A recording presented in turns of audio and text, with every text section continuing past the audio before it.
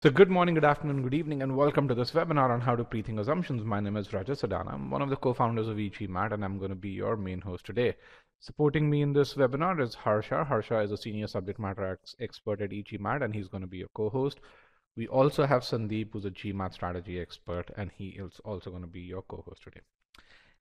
In this webinar, we're going to talk about pre-thinking. Pre-thinking uh, is, is, is, a, uh, is a method which is extremely popular in, in um, uh, when it comes to uh, uh, solving critical reasoning questions. It's a method that that we, we kind of refined and invented uh, in 2012. And um, if you look at data on GMAT Club, you're going to find that uh, um, that about 80% of the people who actually needed help in pre-thinking and ended up scoring a 700, they use pre-thinking as as a means to to getting there.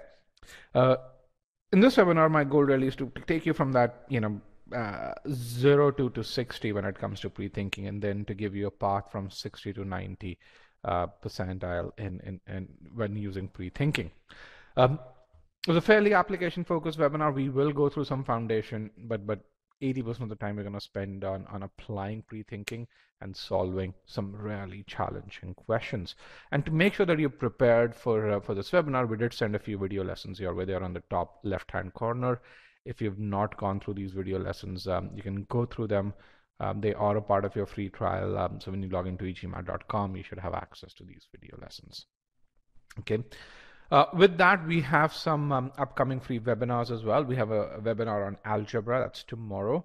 Um, in this, we're going to talk about inequalities and absolute value. We're going to, again, start from the very basics and, and, and um, uh, go to the most advanced topics. So if you've not registered for this webinar and if you'd like to join this webinar, I'd recommend uh, that you click on this register now button. Uh, and then let's just make sure we increase the marker size a bit more.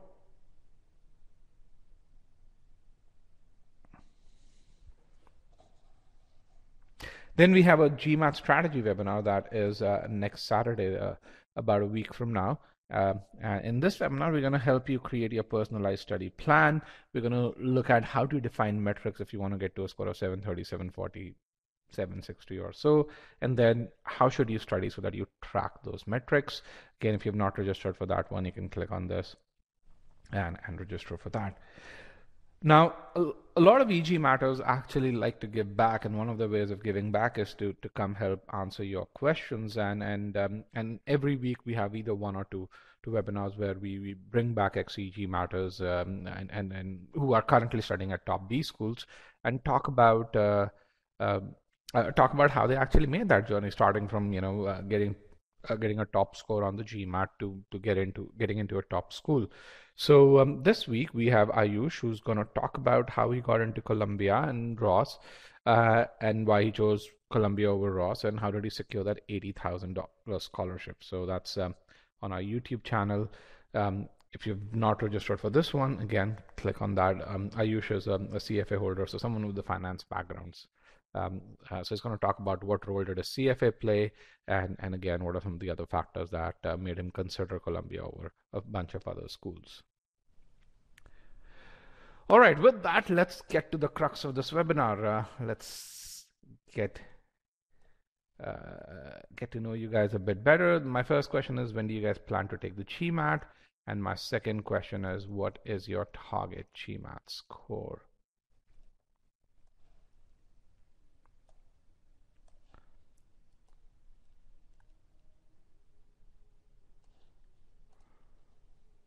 All right. So when you plan to take the test, I have about 280 odd responses, um, uh, or 225 responses, and about 40% of you have not taken a data as of yet. Presumably, you're still preparing, uh, or you've just started preparing for the test. Another 30% um, have their test in about a month and a half to, to two and a half months, and then about 30% of you are in, in that zero to 45 days, with, with about 14 of you who have that test right away. With regards to the target GMAT score, the 730 to 750 bracket seems to be the most popular one. Um, uh, about 46% of you there. And then um, 760 or higher and 710, 720, almost equally popular. And then we have about 4% of the folks uh, who are in, in, in the 600 to 700 bracket. Now, it's uh, if you're aiming for a high score, uh, I think if you're aiming for a top school, aiming for a high score makes sense because uh, this uh, application season is expected to be even more competitive than last year, which, by the way, was the most competitive application session for for the decade. So, um, so that's that's good to know. All right, with that, let's go right into the into the meat of this um, into this of the session.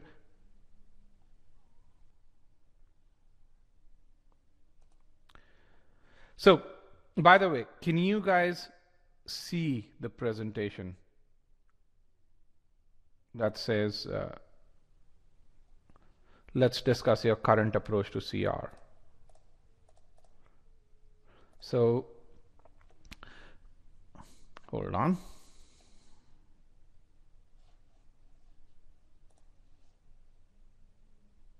All right, so essentially three parts to this webinar. And the, I'm going to skip the first part uh, where we talk about your MBA. Uh, let me broadcast results so I can really see so that all of you can see that it's visible. I'm going to uh, I'm going to skip the first part. I'm going to go right into the second part uh, over here. So we're going to skip this first part. This is the part that we're going to go into and and and throughout the second part what i want you to do is you know stay focused on the content that's been talked about if you have questions um, which are relevant to the content please ask those questions in the Q&A pod. The Q&A pod is right below the presentation pod. Um, that way, you know, your, uh, uh, you, Harsha or Sandeep can respond to your questions and, and, and we still go on with the session. And then towards the end, if you have questions which are a bit more personal, questions about your GMAT prep, uh, about, um, about you know your, your choice of business schools, about post MBA careers, I'd be happy to answer those questions as long as they are in that last part of uh, uh, of the webinar. Uh, so just uh, this is how I look, by the way. I, I, know, you know, given the number of students over here, I prefer not to turn my webcam on. But I do recommend that um, if you've not connected with me on, on LinkedIn, you know, uh, you you should connect with me on LinkedIn. We we add we, we publish about five articles a week related to GMAT and MBA, and and so that's going to be a good way for you to stay updated with uh, with all things e-GMAT and all things B school. Also, uh, we have about 18,000 current students, uh, students who are at current B schools uh, connected with me. It'll be a good opportunity for you to connect to them through me as well. Okay, so the agenda for today. So we're going to look at know, how you approach assumption questions today. The, the, the purpose of this session is learning pre-thinking through assumption questions. Our focus is going to be just on assumption questions, even though the pre-thinking approach uh, gels really well and, uh, while solving evaluate, strengthen, weaken, logically complete, and in fact even bold-face questions. It's just an adapt adapt the approach for assumption to these question types. Uh, so we're going to look at how you approach assumption questions today. We, then we're going to do a pre-thinking exercise uh, where um, uh, we're going to solve one argument, uh, three arguments, one after the other, and then we're going to do um, we're going to apply the pre-thinking approach that we have learned in step number two on two full-length difficult, uber difficult official questions. And again, we're going to solve these questions as a quiz, which means you're going to do them one after the other. Then we're going to do a detailed review where we'll apply both pre-thinking and the negation test. And then from this point on, this is where you hit that 60th percentile that I talked about earlier.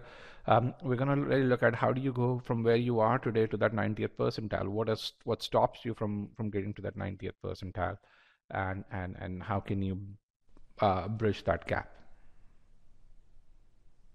Okay, so with that, let's get started. So at a very high level, we're going to look at how uh, you uh, you approach assumption questions today, and then uh, then we're going to look at what's important to to master assumptions, and then we're going to look at what your should be approach should be. So um, so with that, let's kind of discuss your current approach to critical reasoning. Um, now, before I ask what your current approach is, I want to precisely define what pre-thinking is. Pre-thinking is thinking of one assumption, one potential assumption. Now, an argument can have many assumptions, uh, many good assumptions that are, that is, we are only concerned about thinking one potential assumption in your mind. Now, and once you become a skilled pre-thinker, you'd be able to do this in about 15 seconds. Um, and you do this before looking at the answer choices. The moment you look at answer choices, you can throw assumption out of the window. That's it's it's essentially uh, not uh, pre-thinking out of the window. I'm sorry, that's not going to work. Um, now, as a term, pre-thinking has existed uh, for about 15 years in, in, in the GMAT world, but a lot of people um, consider pre-thinking the same as predicting the answer, and, and which it isn't, by the way. Um, a lot of people think, you know, when you're pre-thinking is like that black magic where you're saying this is what the answer is going to be. No, pre-thinking is a means to understand uh, the logic that the author uses uh, to arrive at the conclusion. Okay, we were the first company to precisely define pre-thinking. We are in our third generation of, of, of, of the pre-thinking process. And, and, and so this is something that uh, you should really take, take away from this. Pre-thinking is not the same as predicting the answer. We are not trying to predict what's going to be there in the answer choices. We're just going, pre-thinking is, is a test for us to understand that the logic that the author uses to arrive at, um, at, at his conclusion. Now, your pre-thought answer might not be there in the answer choices, and that's okay. Why? Because once you understand the logic that the author uses, you're going to find that when you see another correct answer, it becomes really easy to choose that other correct answer. Okay, and and, and how popular is pre-thinking? Um, you know, when you look at the 700 plus scores that are reported on GMAT Club between Jan 1st to April 30th, uh, 2021, what you're going to find is um, a majority of them are reported by e-GMATers, by the way. Um, again, this is including all the partners over here. Um, uh, and, and, and essentially, if you look at the verbal related scores, this number actually goes to about 80% of all, all scores because most of the TTP scores are for, for quant. Okay. And, and this includes over here, others includes pretty much uh, um, every other partner that is a Veritas Prep, Manhattan Prep, and so on and so forth. So this is how powerful pre-thinking is. A lot of those these scores are powered by pre-thinking. Okay. So how do you approach assumption questions today? There are two ways in which people do that. One is they read the argument, uh, they go to the answer choices, and then come back to the argument, do that back and forth between the argument and the answer choice choice uh, till they actually reach a final candidate. The second is they read the argument, they pre-think an assumption, and, and then go to the answer choices, and, and they come back only as needed. So um, let's look at this. Which methodology do you use? Let me bring in a poll question here.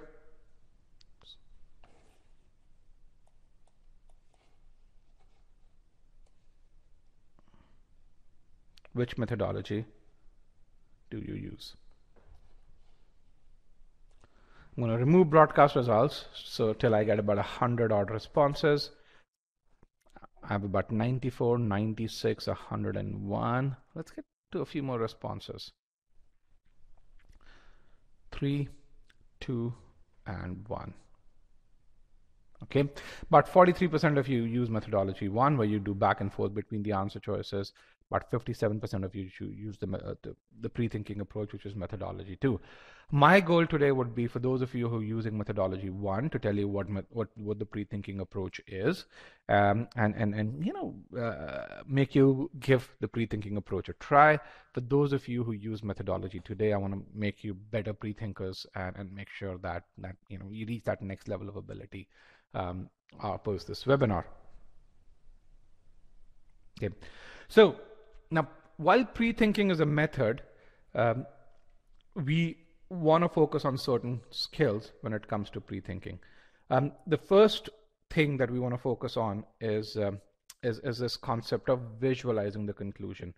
Um, why? Because a lot of people, when they solve assumption questions or, or any critical reasoning or even reading comprehension questions, they actually do it very mechanically. And, and the reason for that is because you know, when they talk to experts, experts talk about teaching people tricks to solve questions, and those tricks typically uh, focus on, in RC, for example, reading the first paragraph or, or the first line very, very quickly, or or really just focusing on on on uh, rejecting answer choices by focusing on on words such as only and and saying okay, only is not going to be there as part of the correct answer. So because a lot of experts focus on tricks, people don't focus on reading things properly. And one thing that I want you to focus on is this piece called visualize. Whenever you read an argument, you know, I want you to read and visualize what you've read in, in your own words. If needed, take examples. And we're going to do that. I'm going to demonstrate that uh, uh, throughout this session. Okay. One thing that I especially want you to visualize is, is, is the conclusion in your own words. Why? Because once you visualize the conclusion, you know exactly what the author is talking about. And once you know exactly what the author is talking about, that's half the battle. The other reason where people make a mistake is they kind of rush through answer choices. They they they, they read an answer choice and then they really, without visualizing, they ask, "Is this the correct answer?" And when that happens, their mind goes blank. Am I correct? Has this happened with anyone? You rush through the answer choice. You ask, "Is this the correct answer?" And you don't know. It seems like the correct answer, right? And and and so so the other piece that I want you to do is read slowly, visualize. Okay. So so just purely from a reading standpoint. Okay. The second piece is spend time to build the logic that the author uses to arrive at, at the conclusion. It's like ask yourself, even before looking at the answer choices. Again, this is another habit that people have where they, they just want to get done with the question. They don't enjoy doing critical reasoning and and they say okay let me just get to the next question and the next question and the next question. Enjoy critical reasoning. Take it as a as a fun challenge and um, and and and focus on the beauty of the logic that's used. I mean the critical reasoning questions are beautifully designed. Those who do well in critical reasoning can can actually be very um, balanced in their analysis of, um, of of information that's presented to them. So so focus on understanding this logic and then the third piece, which is kind of the the, the part that the fund the foundation on which the session is based, is building this thing called the falsification question. Now, I will tell you this: this is the easiest thing to do. This is kind of the simplest thing. If you do this and this right. And by the way, if you don't do visualize or or if you don't understand the logic, you might be able to formulate the falsification question. You will still falter. Okay, these are the fundamentals and and this is is the process piece over here. And that's really important for you to understand. You need all three to get the question right uh, but but but visualize and understanding are the things that will will that's that kind of lay the foundation.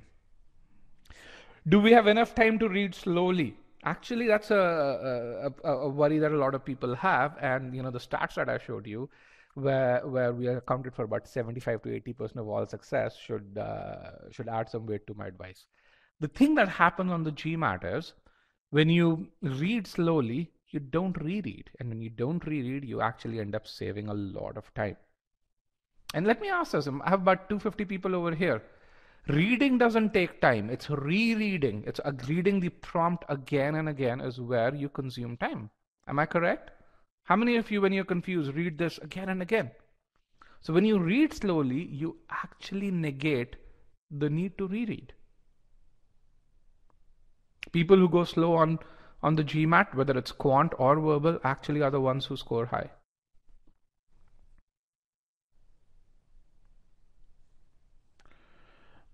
All right, here's another question which is there, which a lot of people really have this.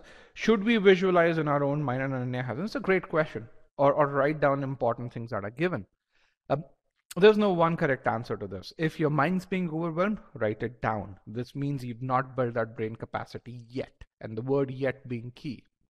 And so, so it's important to be able to visualize whether you write it down or not is, is, is secondary. Why? Because initially you might have to write it down, and initially most of you will have to write it down. But a time will come when when you find that your brain can absorb it you don't need to write it down. On the other hand if you don't write it down initially you, you don't build up that capacity you don't get questions right you don't build up that confidence you always end up rushing through. And you get frustrated. So great question ananya. Uh, the, my answer is your brain will tell you whether you need to write it down. If your brain's telling you you need to write it down then you do right now. It's the same way which is that hey, you need two years to to to uh, to finish your MBA, but once you do your MBA, you can make ten million dollar decisions in probably two weeks. You need those two years to set that rigor, to have that rigor set in. But once that rigor does set in, you can make really good decisions. At least if you go to a good B school um, in in a, in a couple of weeks. Everything in life works that way, by the way. All right, with that, let's go on to assumptions and and say what is an assumption and to make sure that you guys have an innate understanding of assumption, I have this wonderful, simple argument that that each one of you is that's close to your heart. Read this argument and tell me what does the author assume here. You can put your answer in the short answer part. Once I see 30 answers, I'm going to broadcast the result. So here's the argument. Joe scored 500 on the GMAT, and then the author says, therefore, he will not get admission in an Ivy League college. What do you think is, is the assumption?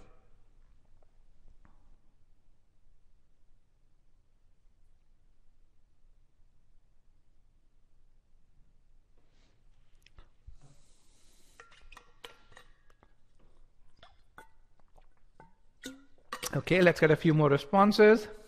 I have 28, 32, 36. Let me broadcast results. You can see. So I have I have two categories of responses. Actually, the third category, which is a very small proportion of you. But the first category is you need more than 500 to get to an Ivy League school. The second category is is they say, hey, your GMAT score is the only determinant when it comes to getting into an Ivy League school. And we're going to really look at which one of these is correct. There's a third, which is, you know, very small proportion of you said that, which is, hey, score of 500 is not, you know, a great score or so it's a bad score. Okay. So uh, I'm going to give you five to 10 seconds to read through it, I think, just or, or skim through it. Um, okay. So with that, let's kind of go through this. What's going on? Uh, uh, in this argument. So the author gives you a data point. This is a data point, a score of 500 on the GMAT. Based on this data point, the author makes a claim. He makes a prediction. This is, you know, a claim in the future. He's saying he will not get its future tense into admission into an Ivy League college. There's a logical jump that happens over here. And while making that logical jump, the author makes an assumption. What is the assumption that he makes? A score of 500 for someone like Joe is unacceptable to Ivy League colleges. And, and this some, someone like Joe is really important. Why? Because in the conclusion, the author says he uh, will not get an admission in an Ivy League college. Okay, the author doesn't say that the Prince of Saudi Arabia won't get admission with a score of 500 in an Ivy League college. In fact, the Prince of, in reality, the Prince of Saudi Arabia does get admission in an Ivy League college with that score of 500. Uh, and, and so, so most of you actually got this right, where you say, hey, Ivy League colleges need more than a score of 500. That's that's wonderful over here. Just a very short piece. Just focus on the element in the conclusion, which is Joe, and and map that element to the assumption while figuring that logic out. But but one thing that this shows is that if you understand this situation, this is a simple argument. It's something that's very easy for you to visualize. It's something that you probably think about day in and day out, not the score of 500, but getting into an Ivy League college. Um, and and and because you can easily visualize it you can arrive at the assumption very easily. So again that emphasis on visualization. Okay. So with that can you tell me what an assumption is? What is the definition of an assumption? Can you type it out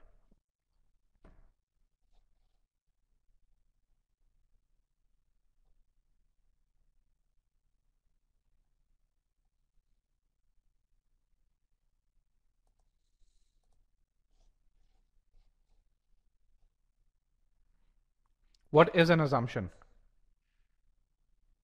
And please um, the, put your question in the short answer pod, which is on the right hand side of your screen, not in the Q&A pod. The Q&A pod is for your questions, not for your responses. Okay, I have about 54 responses. Um, so what is the definition of an assumption? Okay, and I have some good answers. Uh, that are there and, and I have got 70% of the answers that are what I call as imprecise and, and not great answers. So something that connects premise to the conclusion, yes, an assumption does connect premise to the conclusion. That's not the complete definition of an assumption um, uh, in, in that case. Uh, it's the same as saying who's a rich person, someone who has a car. Yes, or, you know, pretty much every rich person has a car, but not everyone who has a car is a rich person. That's kind of the same way. Some an unstated fact, yes, an assumption is an unstated fact, yet an argument can have uh, hundreds of unstated facts or even unstated claims. Only a couple of them would be assumptions. So, so that's there. Um, something that the conclusion relies on for and something that must be true for the conclusion to be true. That is actually the precise definition of an assumption. So what is an assumption? An assumption is an unstated idea that must satisfy this must be true condition. What condition for what? For the conclusion to be valid.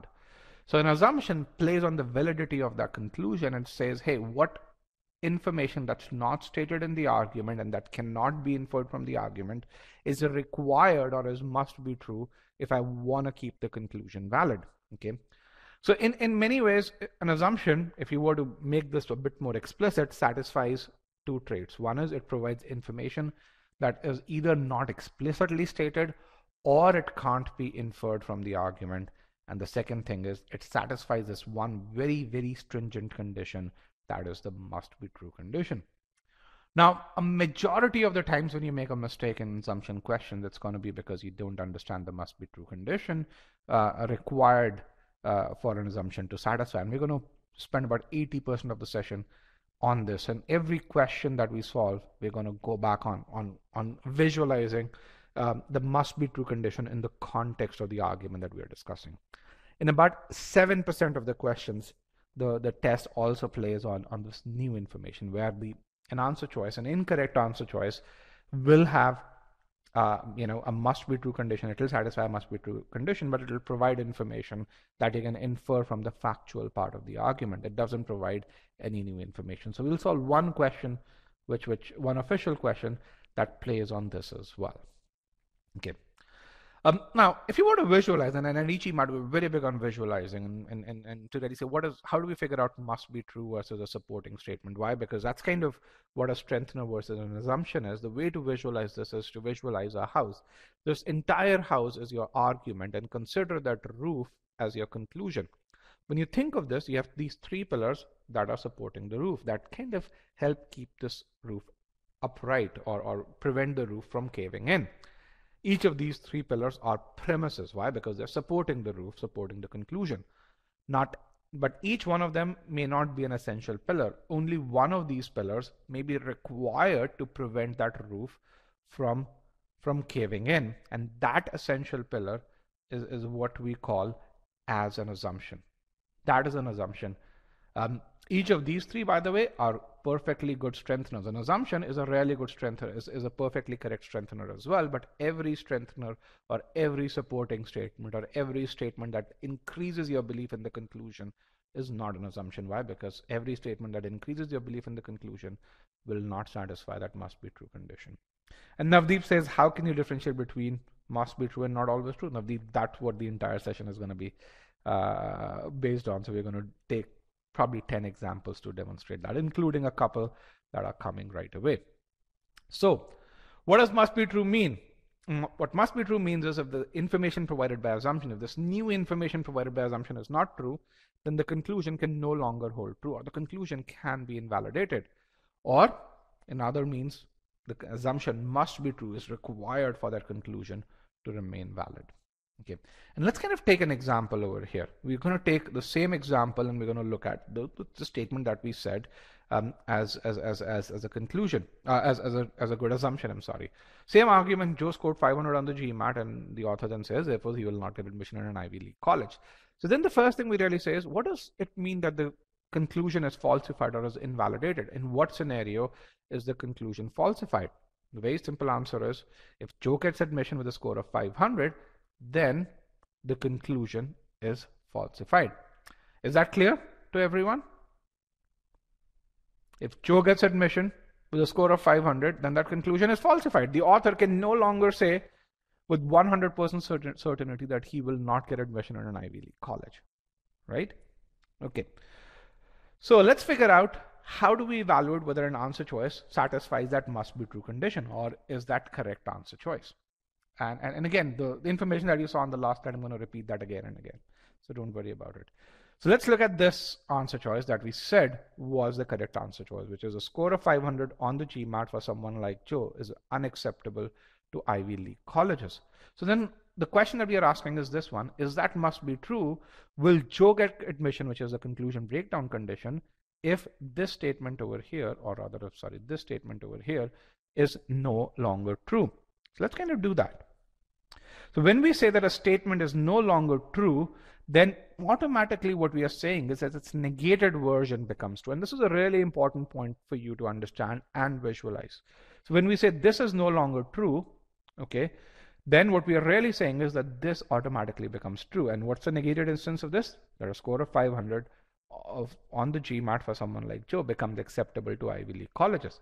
When that happens, then does Joe get admission into an Ivy League college when the score becomes acceptable? Absolutely yes, right?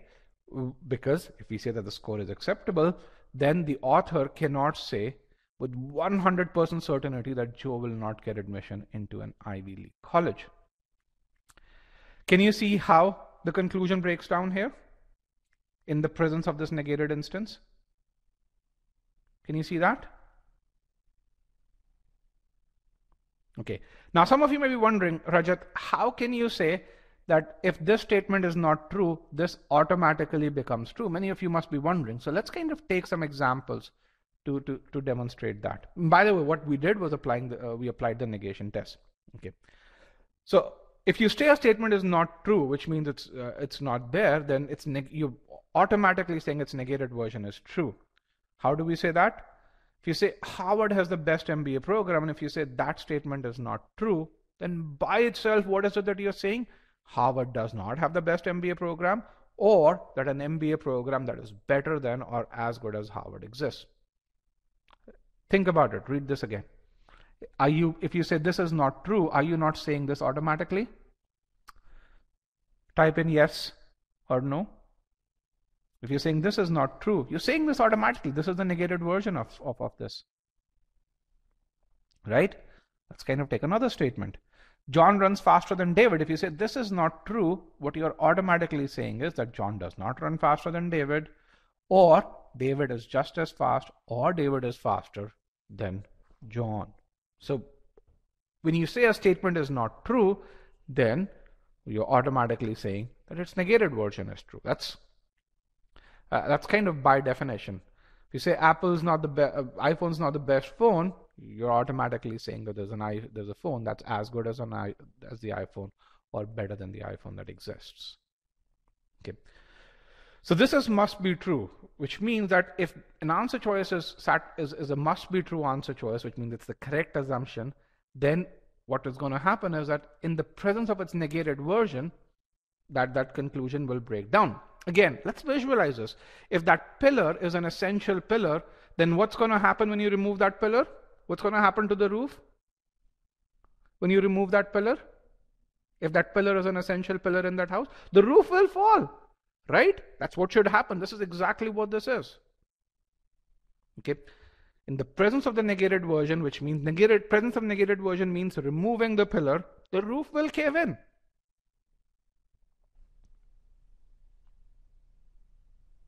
Okay. And, and so that's kind of, that's how simple this is. But you have to visualize if you want to make it this simple. And you have to spend time visualizing if you want to make it this simple. Okay. Now, it also applies the other way. By the way, if an answer choice is not must be true, which means if it's the incorrect answer choice, it's one of those answer choices that's confusing you.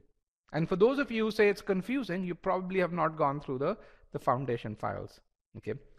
Um, by the way i'm not going to teach you tricks. So so you've got to use and apply yourself.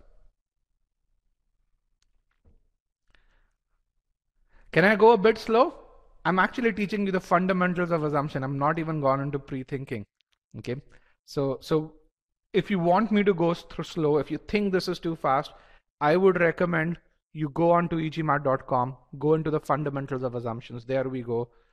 Absolutely uh, slow, by the way, and, and then watch the recording. Okay, because if I go slow, uh, I'm going to alienate about 80% of the class that has done this. Okay.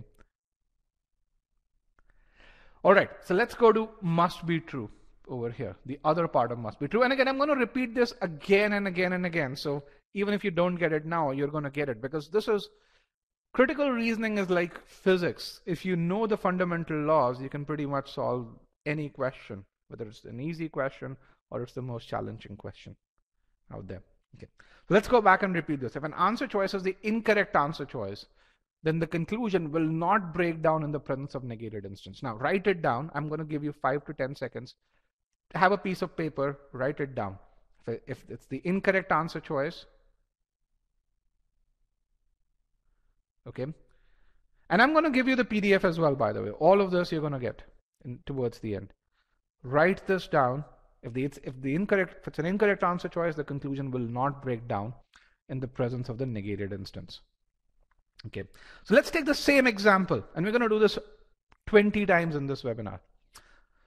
We're going to take the two other assumption answers that you guys gave in and we're going to really tell them how we're going to evaluate whether they satisfy or whether they uh, whether they satisfy uh, this this must be true test okay same argument joe scored 500 on the gmat therefore he will not get admission in an ivy league college okay so let's kind of look at evaluate this option a score of 500 on the GMAT is not a good score. And let's ask ourselves, is that a valid assumption? Does it satisfy the must be true condition? Let's look at this. We're going to ask the same piece over here. Is this must be true? Uh, or, again, the same question, will the conclusion become invalid if the statement to the left no longer holds true? So again, the same thing. If this no longer holds true, if the statement to the left no longer holds true, then what holds true? Can you write it down? What did we say last time? If this no longer holds true, then what holds true automatically? It's negated version, yes. And what is the negated version? As one of you said, a score of 500 on the GMAT becomes a good score, right? Now ask, let's ask ourselves, if a score of 500 on the GMAT becomes a good score, then does Joe get admission? No, Joe doesn't get admission into an Ivy League college, even if this is considered a good score. Why? Because when you look at this argument, this is not predicated on the fact that what you call the score, whether it's a good score, an excellent score, a bad score, or a terrible score. It's just the author is giving you a fact saying Joe scored 500 on the GMAT, and then based on this fact, he's making this claim. In fact, the logic of the argument would remain the same if you replace 500 by 700. It's just the same logic. Joe would um, over there. Joe would still not get admission with a 700 if this were replaced by 700. So this is how you say, hey, this is not a must be true. Okay. All right. Some of you really said this question, which is which is that GMAT score is the only determinant of getting in to an Ivy League school. How many of you gave that as an option? The GMAT score, your GMAT score is the only determinant or, or the only thing that's important to get into an Ivy League school? Select yes. If you or, or type in yes if you said that. Actually, should have a yes no poll here. All right, many of you said that. Let's kind of evaluate that piece over here. Is that must be true? Okay, let's evaluate this, the same piece, and I'm going to broad, remove broadcast results. So this answer choice is, is, is, is basically, you know, a, a, play on that same logic that you guys use to say that, hey, essays are not as important or are not they don't play a significant role okay so let's kind of look at this the quality of an applicant's essay does not play a significant role in deciding whether the applicant gets into an Ivy League school or not. So, so let's kind of look at this. What's, what is the negated version of this? What is the negated version of this? What is the negated version? It does play a significant role, absolutely. SS play a significant or an important role, equally good. Now, tell me one thing. Will Joe get admission if the minimum score required is, is, is 700? Will Joe get admission with a score of 500 if the minimum score required is 700 and you also need great SS? No, Joe will not get admission. Right?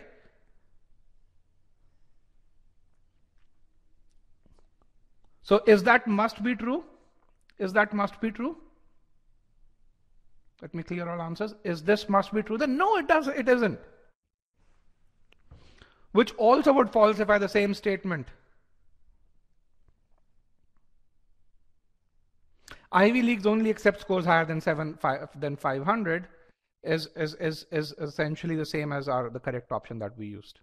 Yes, that, that would be a correct option for people like Joe again being there. So basically we have to negate all options. No, we, I'm just teaching you what an assumption is. Okay, I'm not telling you the process of solving questions. At e-GMAT, we go slow. Why? Because to excel, you've got to go slow. You've got to build that fundamentals.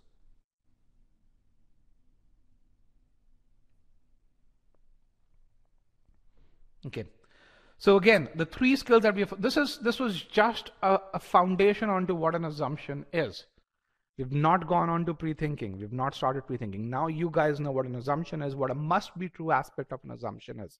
Hopefully, you guys have a better idea of what must be true is. Some of you probably are still confused, and that's okay. Uh, uh, because that confusion is going to go away in two more examples. But many of you now have a better idea of what a must be true condition is. Okay.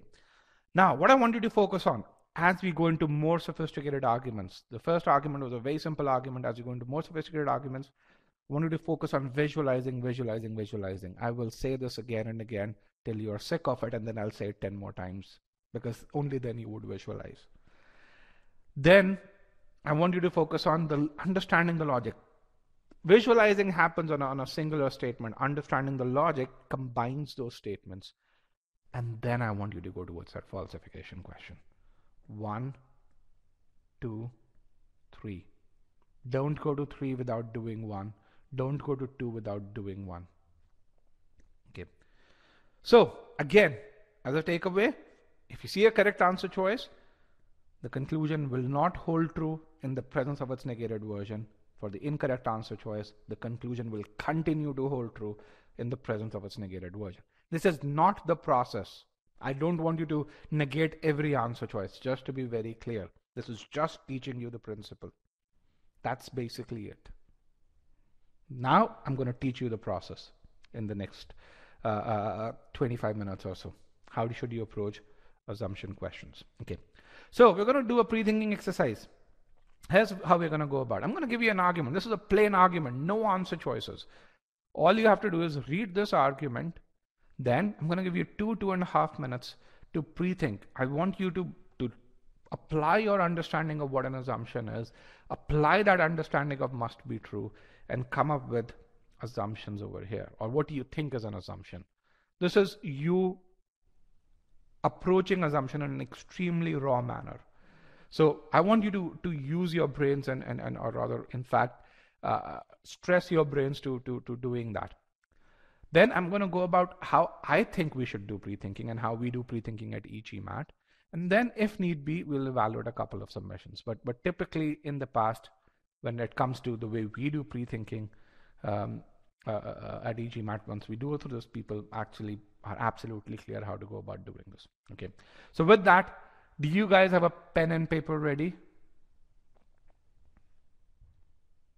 Do you guys have a pen and paper ready?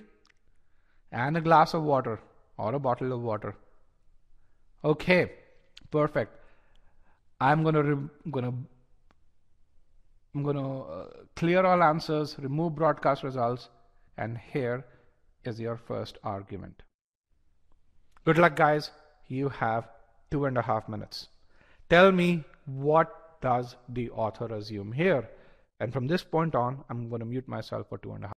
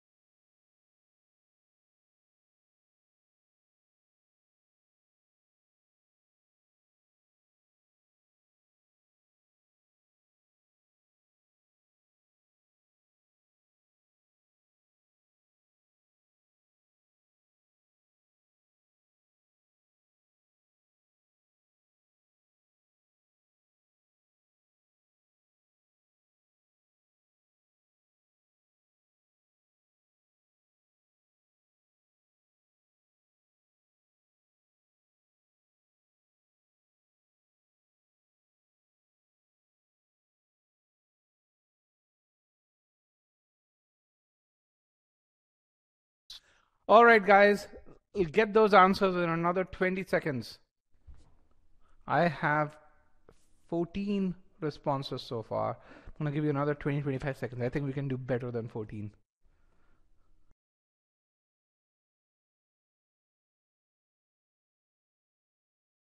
Again, type your responses, press enter, and once I get to about 30, I have about 22, 23. And again, don't be afraid.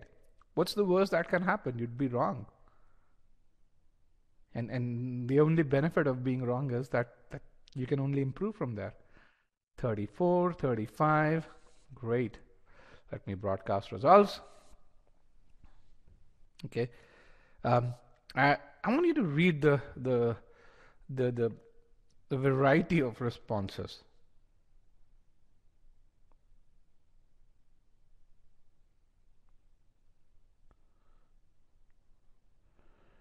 And, and you can see how, and I want you to also make sure that you, you write this down.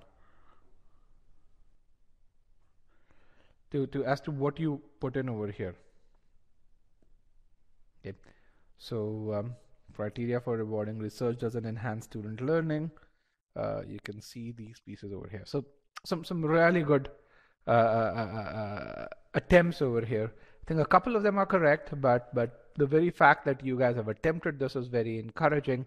It takes a certain amount of courage to pre-think, and and in people who who who actually end up scoring those 730 scores, they actually have a lot of courage. Why? Because if you don't try diligently you don't fail if you don't fail you don't know why you're failing where you're failing and if you don't figure out why and where you're failing you're not going to improve so so with that let's kind of see how i would approach this uh, this question okay so so we're going to use what we call as the falsification method, which is the falsification question. This is a method that Payal Tandon, who's my other co-founder, invented. She invented this in 2017, um, and and you might see a couple of other prep companies using that method now. It's just been in you know it's just delivered so much success.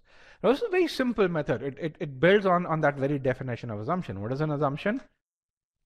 Assumption is an unstated idea that must be true for the conclusion to be valid. Okay, which means if the assumption is not there, there are places that the conclusion will break down. So if you were to think about, and if you go back to our, our, our visualization of, of that roof, um, and the essential pillar. Without that essential pillar, that that that roof actually caves in. So where do you put that essential pillar? You put that essential pillar where the roof is caving and you figure out where the roof is caving in and then you put an essential pillar over here. So if you have to figure out what an assumption is, you have to figure out scenarios where the conclusion breaks down given the information that's there in the argument.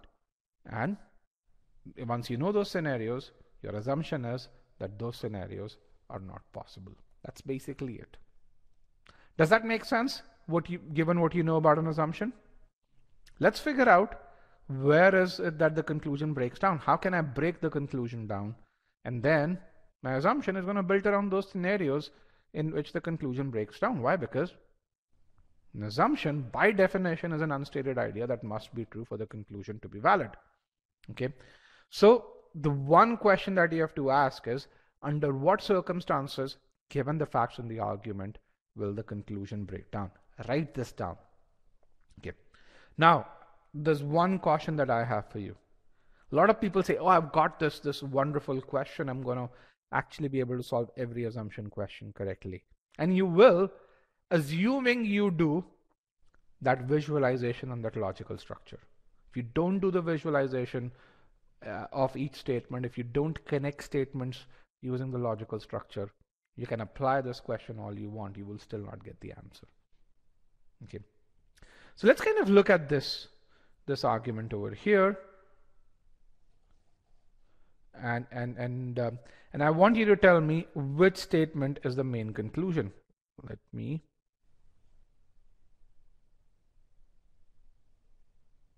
I'm going to bring in a poll question and, and this poll question, you have four statements. Please ignore statement number four because it's not there.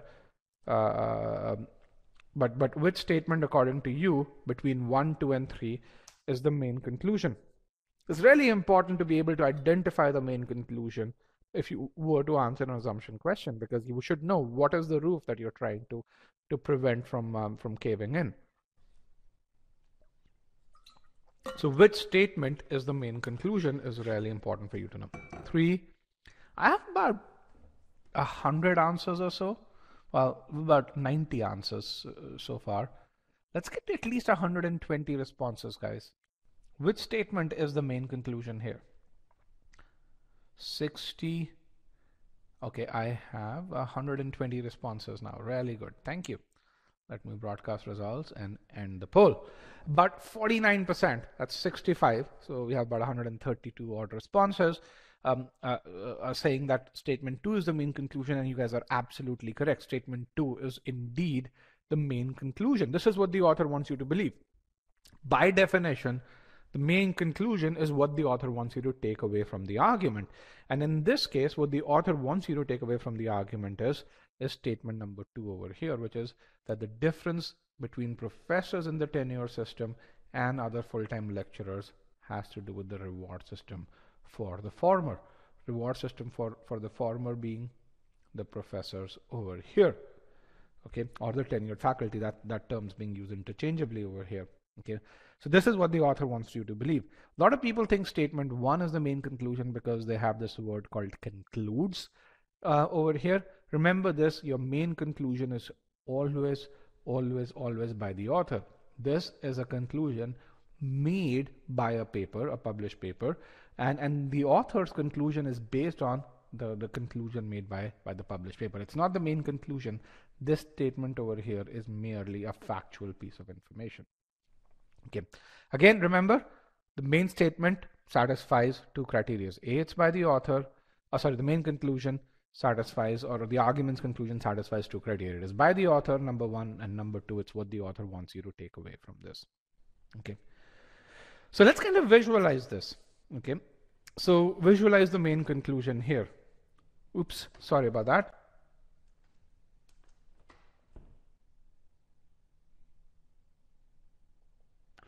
Sorry about that. Can you guys hear me clearly? Just type in yes or no. My computer just went into the lockdown mode briefly.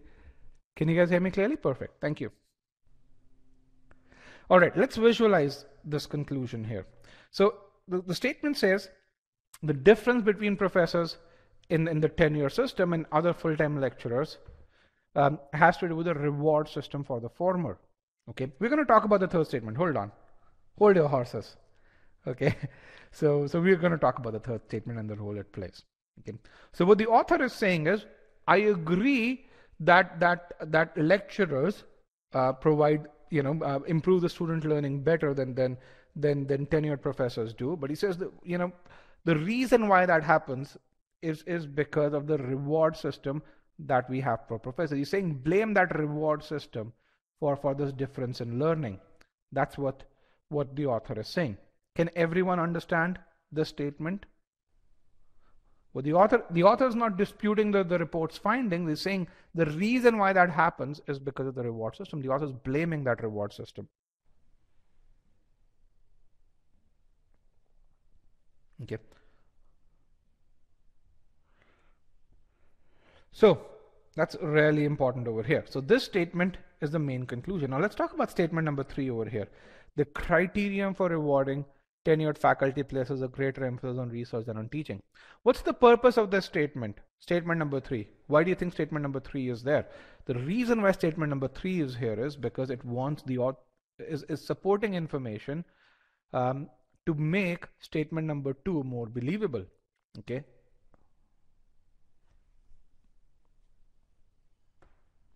It's supporting information. It's there to make main uh, uh, the main argument more believable, the main conclusion more believable. Okay. So it gives more information about the reward system for the professors. So I think that's another piece. So for those of you who are saying, can you tell me what does statement number three do? Is that does that answer your question?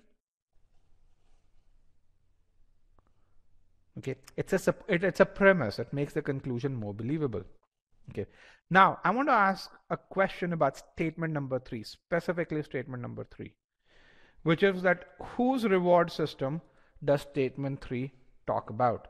And the options are only tenured faculty, only lecturers or both tenured faculty and lecturers? Is it only tenured faculty, only lecturers, or both tenured faculty and lecturers? And again, these are all areas that you need to achieve to achieve absolute clarity. Why? Because if you don't have absolute clarity over here, you're going to make a mistake. And this is why you need to read slow. This is why you need to visualize. Three, need 120 responses, guys. Whose reward system does statement three talk about? Just tenured faculty, just lecturers, or both tenured faculty and lecturers? 125 and 26 responses. I'm going to end the poll and broadcast the results. Sorry, broadcast the results. And you can see 75% of you say just tenured faculty and, and but 25% of you say both. And, and it's just tenured faculty. If let's kind of look at this, the criterion for rewarding whom tenured faculty places greater emphasis on, reward, on, on research than on reward. So what it's saying is uh, that word greater, a lot of people are confused with this word greater. Comparisons confuse people in critical reasoning. Okay. Greater is comparing the amount of emphasis on research and on teaching just for for tenured faculty. And that's where visualization helps. What it's saying is, let's say there's a 70% emphasis on research, okay, research, and there's a 30% emphasis on teaching over here. That's all that this is saying. There's absolutely no information that we have about the reward uh, uh, uh um, about the reward system for uh, for for for lecturers. Is this clear to everyone? And I see some of you are getting ahead, which is great. But is that clear to everyone? Statement 3 gives us no information about lecturers. It's purely about this. And this is where you've got to visualize everything. Visualize everything. Let's visualize statement one. Okay, statement one says a recently published paper concludes that tenured faculty or those on their way to tenure enhance student learning less than full-time lecturers outside the tenure system do. So if I were to root to, to, to kind of visualize this, I'd say, okay, um, for, for full-time faculty, uh, so, oh, sorry, Full-time lecturers, they enhance student learning by 100 units and tenured faculty enhances student learning by 70 units. That's, that's my tenured faculty TF over here and this is my lecturers over here. That's kind of how I would look at this. And again, visualization uh, is, is, is really, really important. And I usually kind of take some numbers or things that, are, that come more naturally to me. But again, identify that there's a comparison here and, and, and when you do comparisons, putting these numbers helps you visualize the comparison, helps you retain that comparison in your mind as you read forward. Similarly, here's another comparison over here. Okay. And, and again, we've spent a lot of time on this, but what you learn from this one argument, you're going to be able to apply this to 10 other arguments over here. Okay. So let's kind of do a logical structure. Statement one provides a context. It's a data point on which uh, uh, um, uh, uh, the entire argument is or the entire conclusion is based. Statement 2 is, is, is what the author is trying to assert. That's the main conclusion. Statement 3 is a supporting statement given to, to, to make statement 2 more believable. Can you, you negate statement 3? No, you can't. Here is another thing in, in critical reasoning. You can't negate facts. Facts are given to you as a tool. Facts cannot be doubted. So you cannot negate statement 3. It's against the rules of critical reasoning. Okay. If you want to ask me why that is the case, ask me towards the end of the session because if I go into that journey, I'm going to go on a tangent for about 20 minutes or so. Okay. But you cannot negate facts in critical reasoning questions. Just take it. All right. So let's kind of apply the pre-thinking question uh, over here. Under what circumstances given the facts and the argument, will the conclusion break down? What this translates to, and for those of you who are our EG quant students, you can see the quant process skills of translate and visualize and con considering all constraints apply over here as well. Under what circumstances would the reward system not be responsible for the difference in performance? Again, remember, we are not saying that the performance is not different.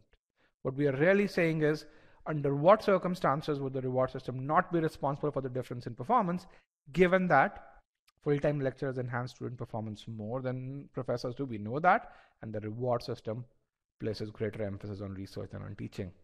Okay. And this is excellent. You guys are already coming up with good assumptions now, which is, by the way, what I have over here. Let's go here. What do I have?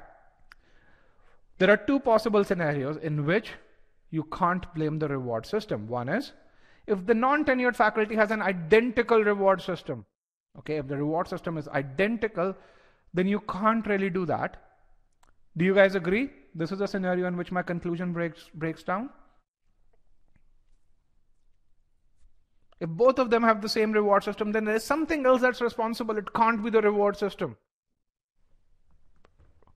Right? Or if people don't, if, if most tenured faculty doesn't care about the reward system. In that case, you can't blame the reward system.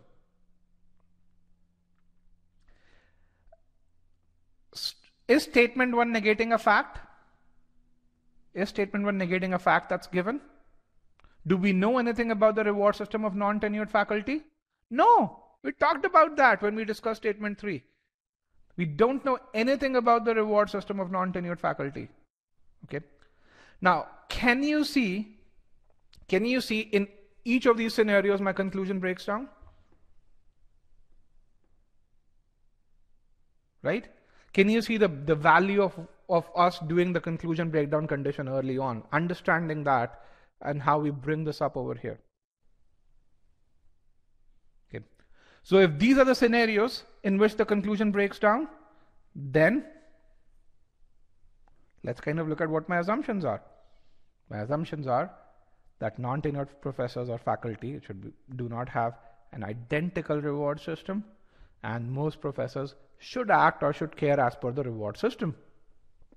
Okay, these are the two assumptions. And again, you guys got this. Early on you didn't, but once you understood the falsification method, once you visualized the argument, you got this right away. Okay, and this is the power of, of visualization and, and, and, and formulating that falsification question. Okay, so now let's talk about pre-thinking and timing. How many of you were, are worried about timing at this point. Say, hey man, this works, this is really cool, but I'm worried a bit about timing. How many of you are? Okay.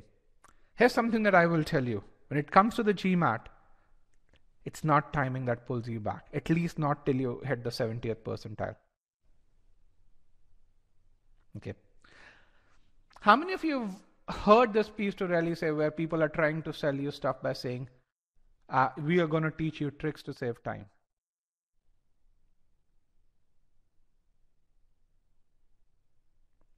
Okay, yeah. One thing that I will tell you is I don't care if you buy our courses, but please don't buy their courses because they don't know how what the test is about. Okay. And and I talked about data in in from from you know 1st of January to to 30th of April. This is data for May 2021 and, and, and in May 2021, we accounted for 56% of all 700 plus scores. All 700 plus scores. All of these other companies accounted for 44%. In fact, if you look at the reviews on GMAT Club and look at the scores and reviews, you're going to find there are two companies that have delivered success. It's e-GMAT and TTP. No one else has delivered any success. Okay. And again, look at the reviews, count the reviews per by month and, and, and, and you're going to see that over here. Okay. So how are you going to feel? The reason I'm saying that is I can say something, other people can say something. What's valid is, and what you care about is that 700 plus score. Uh, because pretty much everyone over here is aiming for that 700 plus score. Okay. Um, in fact, not just e-GMAT Verbal, in the last three months, e-GMAT Quant has delivered more reviews than TTP Quant. So it's not just verbal and timing yes comes with practice but a specific kind of practice the, pra- the kind of practice in which you learn to do visualization. So here is how you're going to feel in this entire journey. When you start let's assume you're starting at this point number one where your time to answer questions that's on the x-axis is medium and your accuracy is what i call it in this in this low bracket over here. Okay. Now when you start doing pre-thinking, two things will happen. Your time to answer questions is going to go up and your accuracy is also going to go up, which is where you will go to point number two. And you're going to be like this guy where you're saying, hey man, I'm worried about timing. Why the hell am I trying to use pre-thinking over here?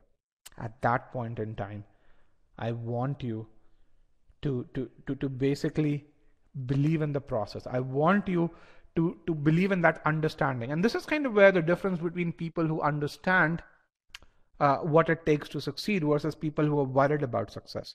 There are people who are worried about success over here and really say, hey, I just want to get to, to, to score high on the GMAT. They don't, they're not worried about learning. They would give up at this point.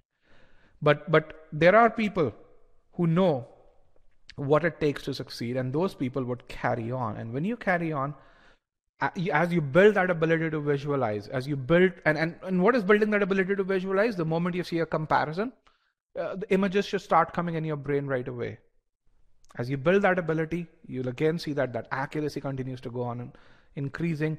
That time to answer question actually reduces it. It's, it's now below uh, that point number one, which is where you started. Once you hit point number three, you have what I call as you, you've hit, hit that positive feedback cycle and and um, and and then you continue to do pre-thinking. At this point no one can tell you not to do pre-thinking once you hit point number 3 okay. But you will go through this journey.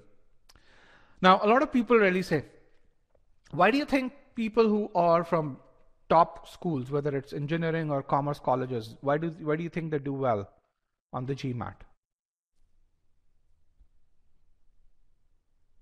Why do you think those people do well on the GMAT? People who are from an IIT or an NIT or, or a top commerce college. Okay, logical thinking. There's some sort of thing which is there. Accuracy, reasoning, good reasoning skills. What's the one of the biggest things that they know of? They're hardworking, that's why they're an IIT. I can tell you if you are here with me on a Saturday morning, which is I'm in Phoenix, Arizona, at Saturday morning my time, or on a Saturday evening, you're equally hardworking. They can visualize and think logically. I can tell you also that probably half of them can't right away. They learn how to. One of the biggest things that separates those uh, uh, uh that that separates those who go to IITs or, or, or, or RECs from those who don't is the fact that they are resilient. Not and hardworking and resilience are two different things.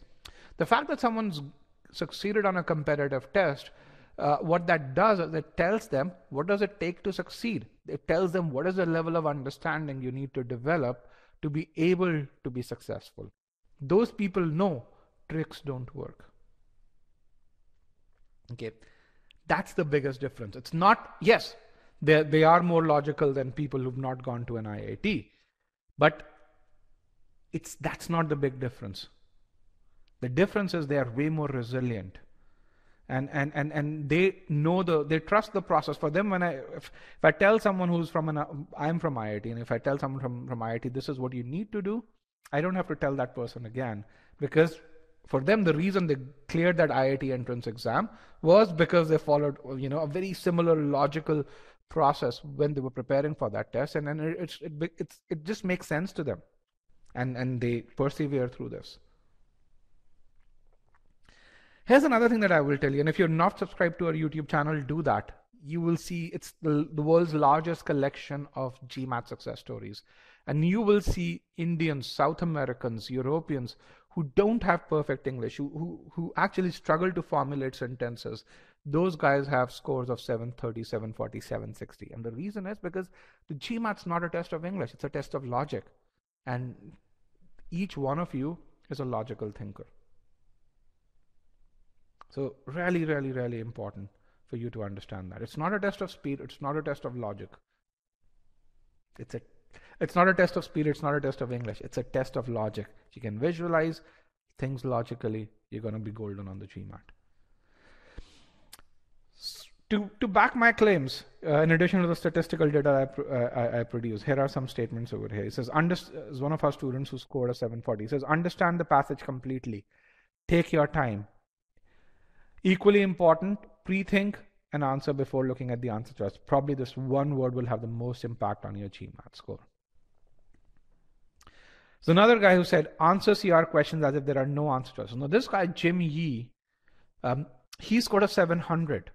He really smart guy. He when he scored a 700, he also had a Q51. By the way, you've got to be really smart to get a Q51. Uh, and and but struggled in critical reasoning. Uh, uh, he's a he's a he's a Chinese Canadian, so native speaker. Um, so he says when it gets to 700 level questions, you have to do pre-thinking. The reason to do pre-thinking is to help you focus on logic and not deviate from the key argument when trap or out of scope answer choices show up. Okay.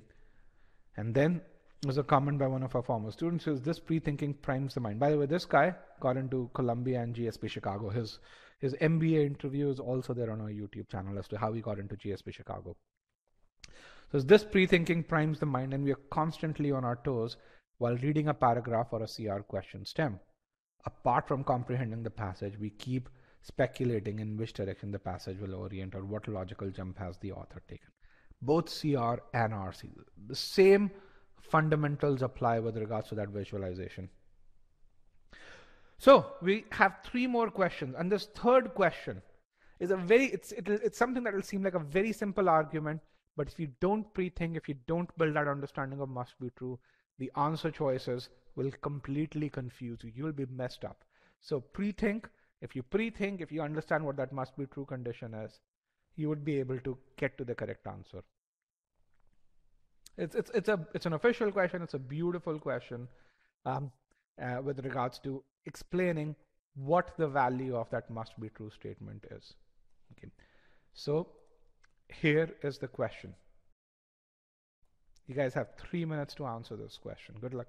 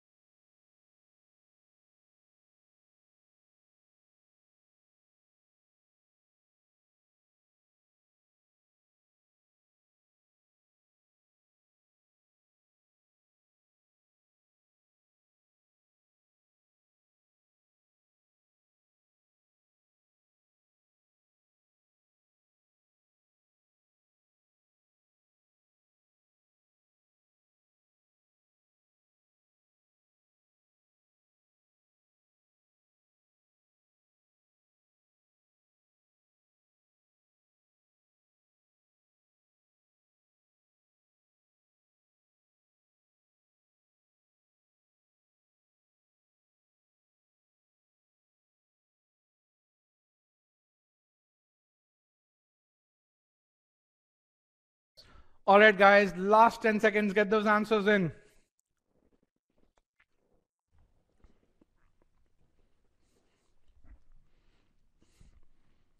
Five, four, three, two, and one. Let me end the poll and let's broadcast the results. So this is how you guys polled. And one of the things, guys, that is there is, you know, if you're here in this webinar, participate. Um, you know, the, the only way you're going to get most out of this, um, this, this webinar is if you participate. So, so, um, so that's something that, that I would truly recommend. I have 132 people who've responded over here. I probably would have liked to get 150 responses or so. So with that, let's look at these, uh, let's look at how we approach this question. But how are the answer choices? Before I do that. And is this a 700 level question? Yes, it is. Okay, confused between two, very close. There are actually four answer choices that are very close. B, C, D, and E. All of them are good strengtheners. Only one of them is the correct assumption. So B, if you're confused between any two out of B, C, D, or E, you can, you, these are, there are four strengtheners here. All of them are correct strengtheners. Only one is the correct assumption. And this is, this is a beautiful question that, um, that, that makes you understand what that must be true condition is. So, so let's see uh, what well, let's see the, the logical structure of the argument. So what's the conclusion? The conclusion is that the, the, the revenue generated by the toll highway will go by at least 50% every year. Okay, we're going to do discuss every answer choice, so don't worry about it. Focus on learning here. Okay, so what's given to us?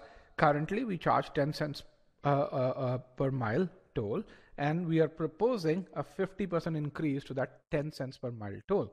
Okay, and based on that, there's a there's a claim made by the highway commissioner where he's saying that the revenue will go up by at least 50% every year. And again, you've got to visualize this piece over here. What this means is that if if last year the revenue was $1 million, what is going to be the revenue this year? If last year the revenue is $1 million, the revenue this year is going to be 1 point, at least 1.5. It could be 1.6, 1.7, it could be 2.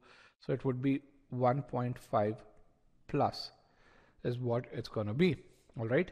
Assuming the repair cost will remain the same. Why? Does the, do the repair costs matter? In, in my claim, am I really saying that, that will this money be enough to fund the repair costs? Is the highway commissioner making any any claims around that? No. So the repair costs don't matter. That's just the context.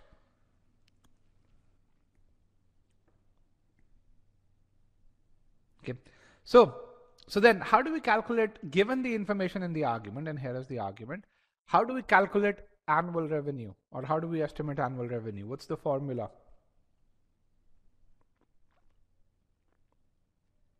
How do we estimate annual revenue? In very simple terms. There's no income and expenses here. It's about revenue. Given the information. All right, I have some good. Okay, guys, given the context of this argument. The annual revenue, and remember this, it's done on a per mile basis over here. The annual revenue is toll per mile multiplied by the total number of toll miles. That's how you would do that. So do this over here. Look at this. Toll price multiplied with the number of miles. Does anyone have a problem with this or any questions around this? How we calculate annual revenue is this. Why do you say vehicles? Who says vehicles? Why does 365 matter? Why do the number of cars matter? Are, am I charging on a per car basis? Am I charging on a per day basis? No, I'm charging on a per mile basis.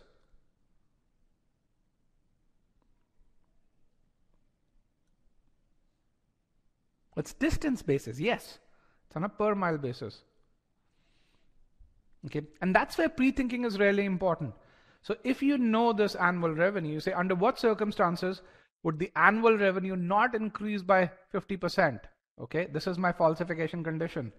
Under what circumstances will the annual revenue not increase by 50% given that we know that this is going to go up by 50%? Under what circumstances will that happen? If we know that this is going to go up by 50%, if the miles travel go down, if the total number of miles travel go down, okay, the distance goes down. That's the only thing. So if that's the only way in which my conclusion will break down, what is my assumption? The total numbers of miles driven across does not decrease. Everyone with me? That's the only assumption.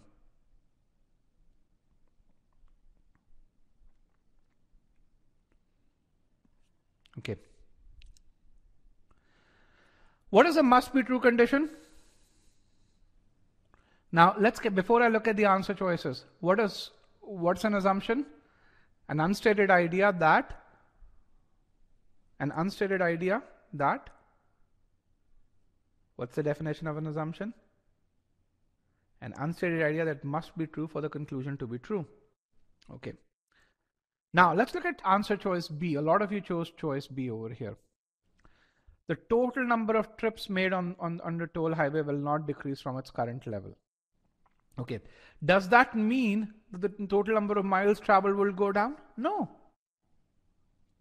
It doesn't mean that the total number of miles would go down. Why? Because, um, hey, what if the miles per trip go up? If we reduce the total number of trips, then you can compensate for that by increasing the number of trips. For those who chose choice B, so is this a must be true condition? Is this a must be true condition?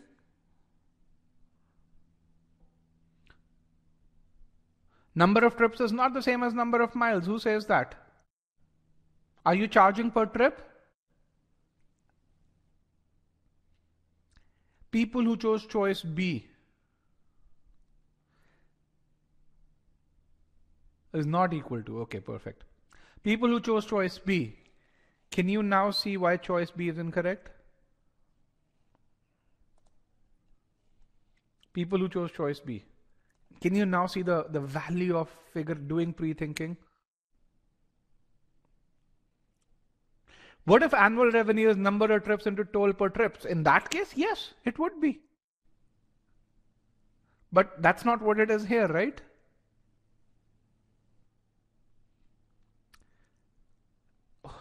my friend?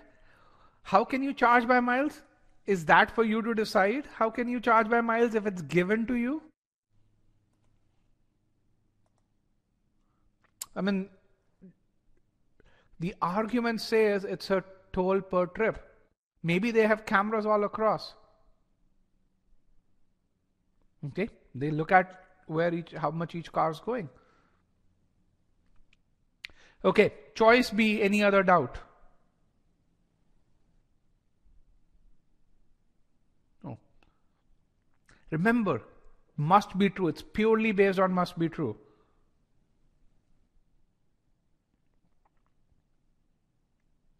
Okay. The correct answer is choice E. Choice E says the total distance traveled by vehicles on toll highway will not decrease from, from this. If the total distance decreases, then the do the total number of miles decrease? Absolutely. Right? Which is why Choice E is my correct answer. Again, it's in line with our pre-thinking.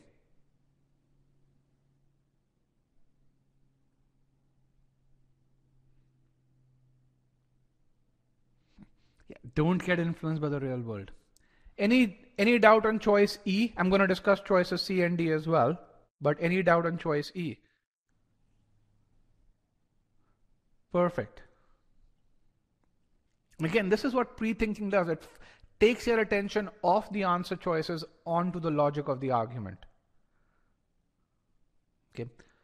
Now let's look at choice C. Choice C talks about average length of a trip. What if the average length of a trip goes down? What can compensate for that? if average length of a trip of the trip goes down by 10%, more trips can concentrate uh, can, can compensate for that, right? So is this a must be true? Is this a must be true then? No, it's not a must be true. It's absolutely not.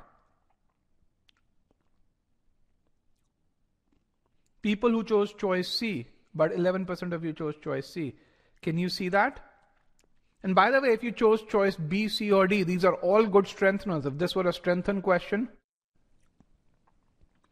then, then that's something that then these choices would be true. What did you not get? The must be true part or, or, or is it required? Let me just kind of take another very, very simple example.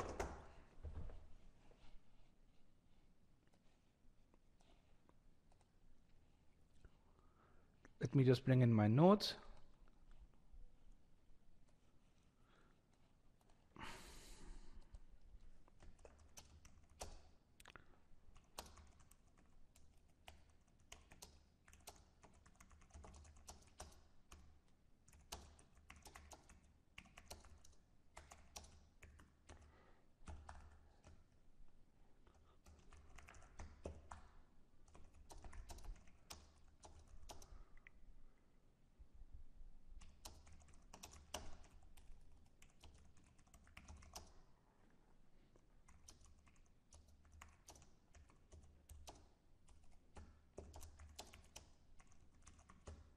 So here is the piece over here. I'm giving you a statement which says that you need five, year, five years of experience or a 720 score on the GMAT, of course, to, to get into ISB. Then, is this statement a must be true? Everyone sees that? Okay, good. So, what is our, our so again, let's apply this to this particular question. What is a required condition? Required condition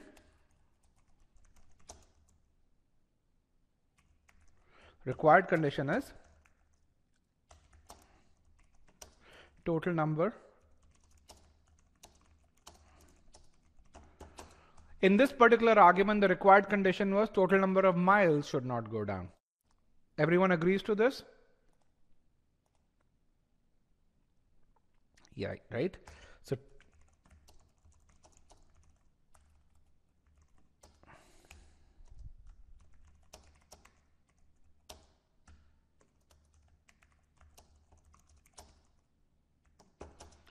So miles per trip, uh, total number of miles is equal to miles per trip multiplied by the total number of trips. And let me just do this. Now, then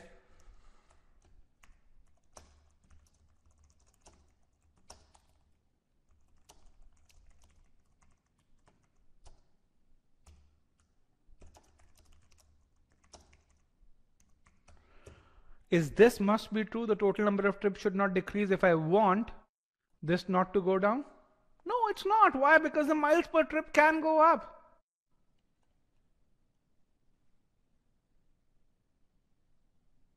Okay? And this is the precision of must be true and the precision of pre-thinking. Had you done pre-thinking right you wouldn't have gotten into thinking about trips. Why? Because the pre-thinking would have helped you focus just on distance that's the value of doing pre-thinking. Okay, so now average into the same trip, same logic. The number of trips can go up. Think about it. All right, now we're going to solve two very difficult questions. So far, what we did was difficult. It was 700 level. Now we're going to get to 750 level. And again, if you get them wrong, that's okay because you're here to learn. But what I want to emphasize through these two questions is if you visualize this, then even these 750 level questions start to become easy.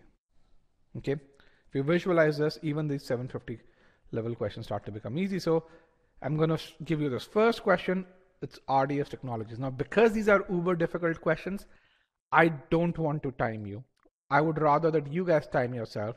So I want you to select this option called not answered. I want about 50 people to choose not answered. And when you choose an answer choice other than not answered, then I know when 80% of you choose an answer choice other than not answered, that is. Okay. Let's remove this broadcast results. And now, thank you for that. And I'm going to show the question and uh, question number four. And good luck for this. Again, most people, I'll give you three and a half minutes to go really, really slow on this. Okay. I'm going to mute myself for this one.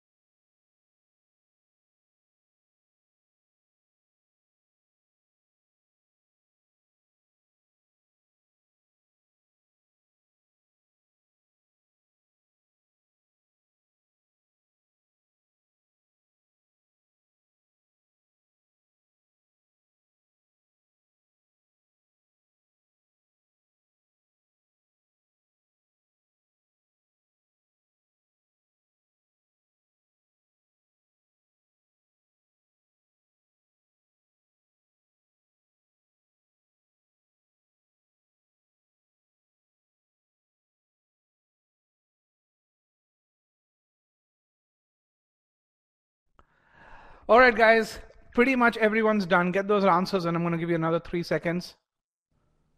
Two and one. Let me end the poll. I'm going to broadcast the results so that you guys can see how you did. Now we're going to do another solve another question. Let me hide this. I'm going to actually swap it out. Uh, another question here. Again, you guys know the, the drill. I want you to select broadcast results. I'm going to actually say 0% done over here. Um, I want 50 of you to say broadcast results before I show the question to you. Again, this is not the poll for the prior question. This is the poll for the next question. 50 people to say not answered. All right, I have 50 people who've chosen said not answer. Let me remove broadcast results. And here is the question.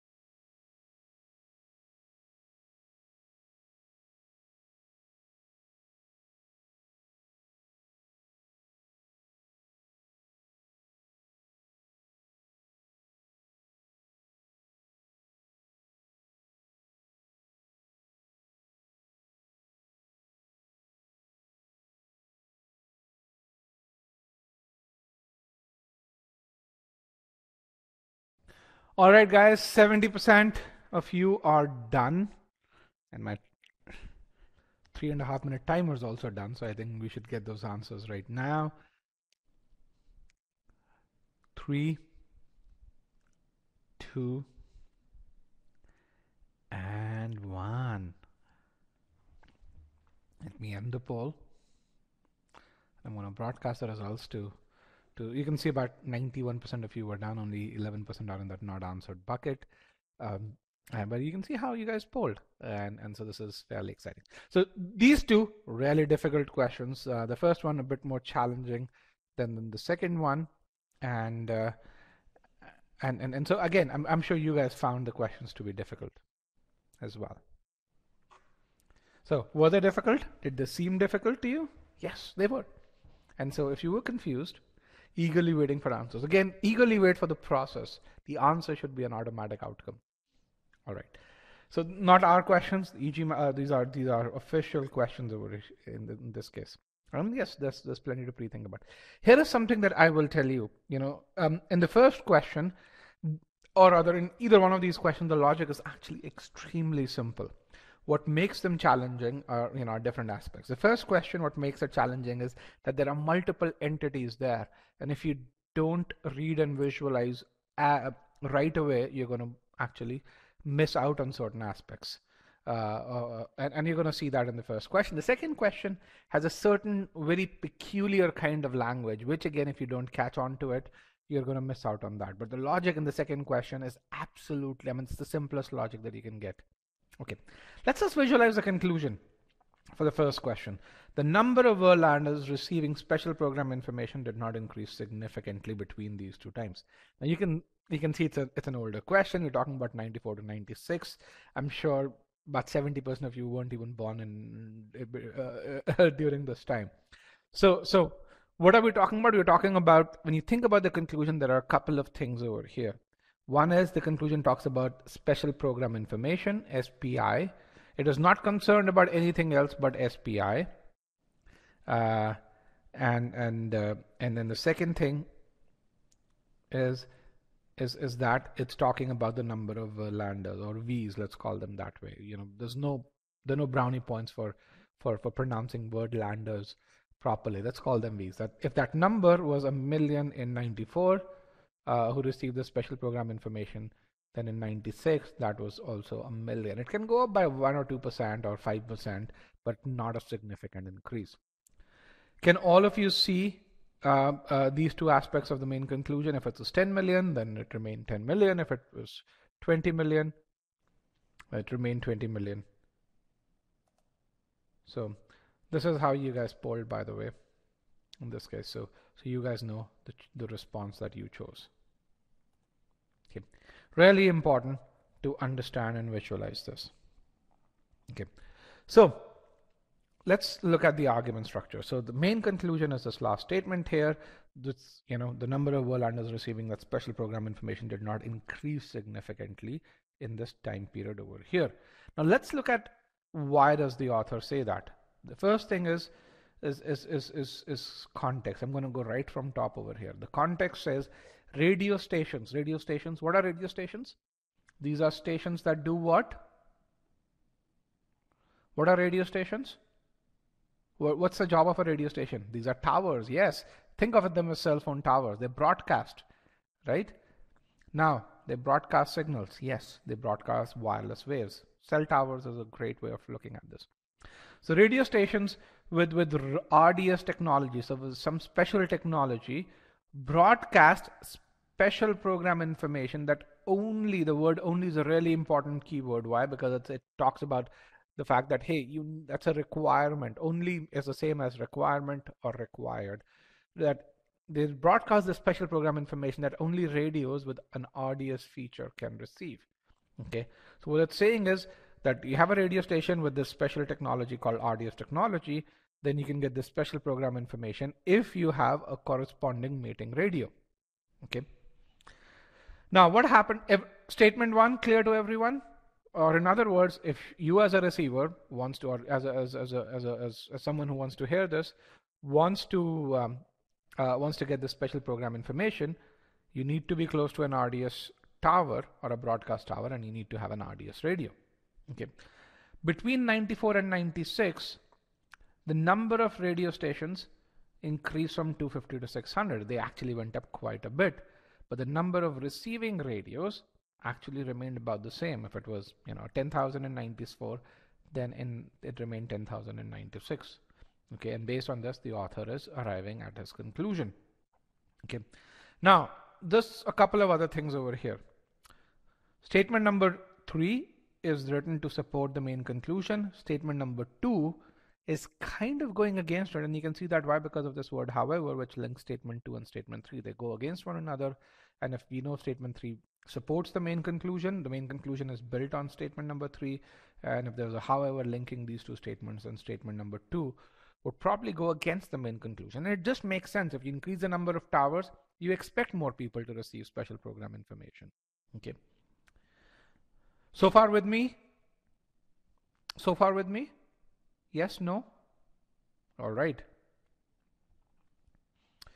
Okay, so let's kind of look at this, this, this argument over here. Between 94 and 96, very few additional Verlanders received RDS, uh, uh, RDS programs. What happened between 94 and 96? The number of RDS radios remained the same. The number of RDS stations increased a lot. And what's the context that's given to me? To receive RDS programming, you need the RDS radios and the transmitting stations. And again, every argument can be can be uh, the, you can create a logical structure of, of every argument with with these headings. You'll have the context. You know, if you remember the argument with the professors, the the, the report, research report was the context, and then you'll have the piece with support or, or go against the conclusion, and then you'll have the conclusion. And in your mind, if you can organize it this way, you're going to find that life becomes a lot easier. Okay. So the question to ask is, uh, in what scenario will there be a significant increase to the number of people receiving RDS programming if you know we don't have that many more radios but we have a lot more transmitting stations? How, in what scenarios can we have this? How can we break my conclusion? Can you come up with some scenarios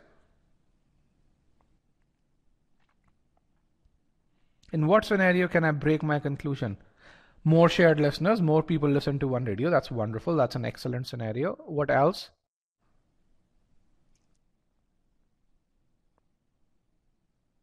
Sharing radios is one thing. That's great. Well, but the same people listening more doesn't increase the number of people.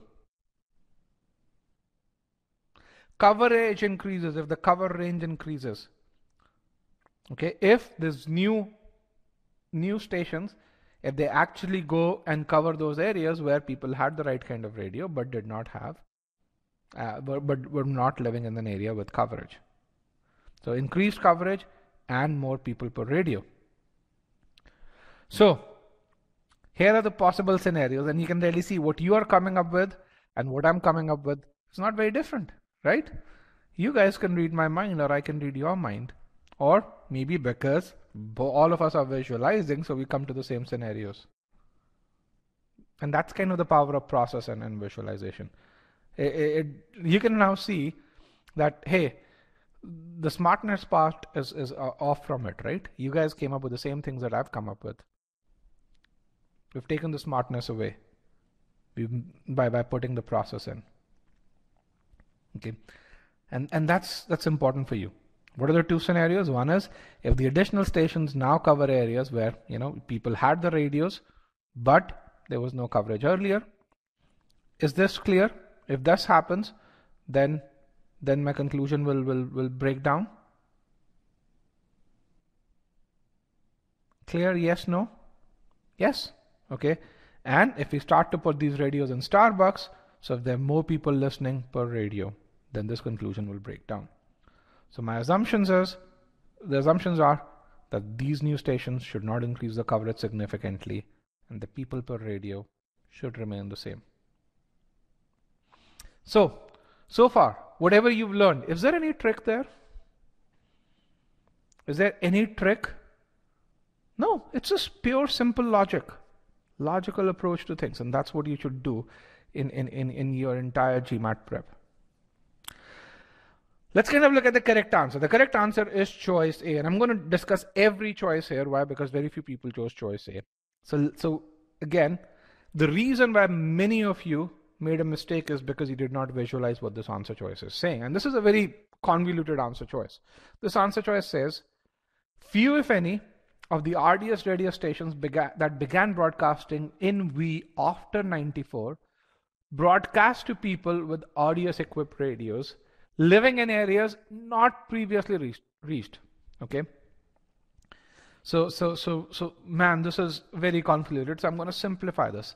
So what few, if any, means almost none. Okay. Few, if any, of what? Of the RDS equipped radios that began broadcasting after 94. What are those radios? These are the new radio station. Broadcast to people with the RDS equipped radios living in areas not previously reached. What does that mean? That's increase the coverage. So, so this choice is saying is almost none of the new radio stations increase the coverage of RDS programming. It's in line with our with our answer choice, uh, with our pre-thinking, and it is the correct answer. Let's kind of negate this. The negated statement for this is at least some RDS radios increase coverage. If the RDS radios increase coverage, then can I say with, with 100% certainty that there's no significant increase in the number of people? No, I can't say with 100% certainty that that number of landers receiving special program information in in, in, in, in 1996 did not increase significantly. So that is why this answer choice is the correct answer choice. Okay, let me clear all answers. Now I'm going to discuss every other answer choice, but you can really see how pre-thinking allows you to focus your energy. And if you translated this to this over here, you would have gotten down to this and chosen it. Let's look at choice B. Oh, there are lots and lots of questions. I can make a very similar question on, on something that's completely non-engineering related, by the way. Maybe I'll come, at, come up with that question by the end of this session. Um, so, in 1996, most Verlanders who lived within the listening area of an RDS radio had a radio equipped to receive RDS. Let's, let me ask two questions. What's the definition of an assumption? What is the definition of an assumption? It's an unstated idea that must be true for the conclusion to hold true.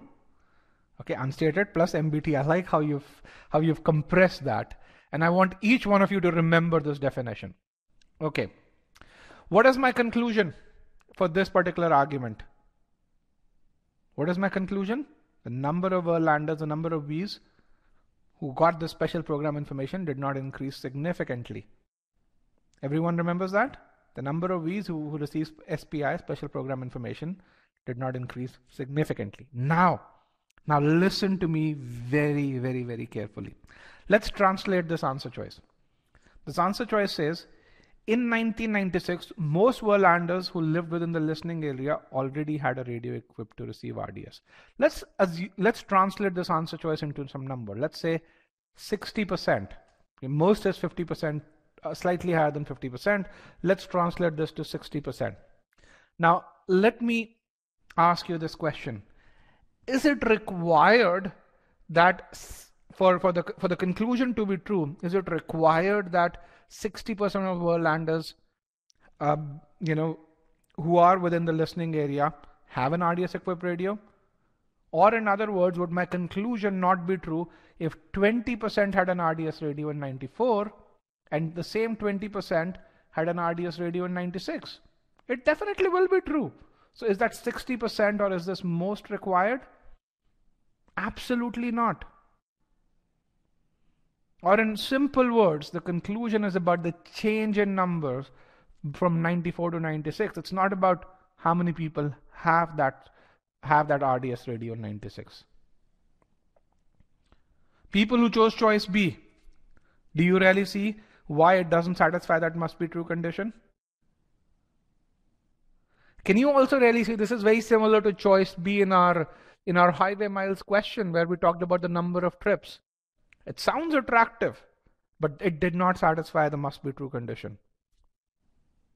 And that's what happens when you start to visualize. You can map answer choices, the logic of incorrect answer choices to one another. And that's, yeah, it is the power of visualization. That's all that you need. As I said, the first two things are, are important. The third thing, the pre-thinking question, is a very natural outcome if you do this. Would it be correct if it says 94? No, absolutely not. Why is 60? Why is most required in any of the years when the when the when the uh, uh when the when the conclusion is about uh, uh uh, uh, uh, uh, essentially the change in numbers. I mean, think about this. If I told you that the number of uh, uh, the number of millionaires in America uh, uh, did not increase a whole lot between 94 and 96, then for, for that conclusion to hold true, is it required that a majority of people lived in, in America in 94 were already millionaires? Is that required? No. That's not a precondition. Let's look at choice C. Choice C, and, and, and I'm going to bring in how you guys answered this one. So we want to really see how uh, how many people chose choice C. This is choice C talks about, uh, but 11% of you chose choice C. Choice C says equipping a radio station with RDS technology does not decrease the station's listening area. It, it, now, special programming information. Can a radio station transmit special programming information if it doesn't have RDS technology? Yes, no? No. So,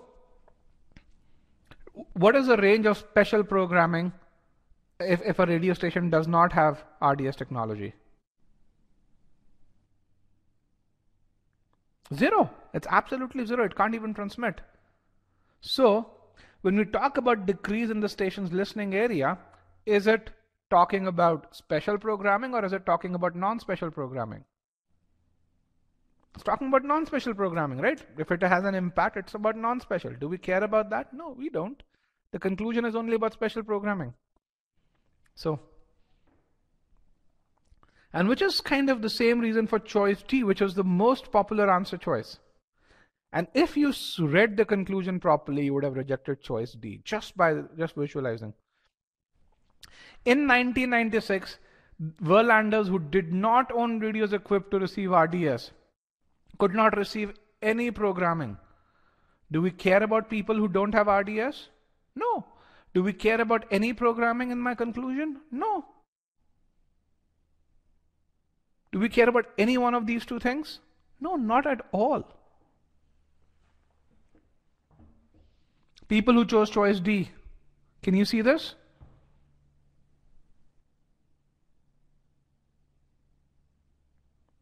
How do you visualize the conclusion? I said, we only care about people who have the RDS radio.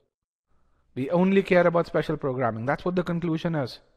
You would have rejected this and says, okay, is that must be true? No. Kind of? Why kind of? Any more do- doubts on choice D, guys? Very popular, the most popular uh, uh, choice amongst all the answer choices. Any doubt around choice D?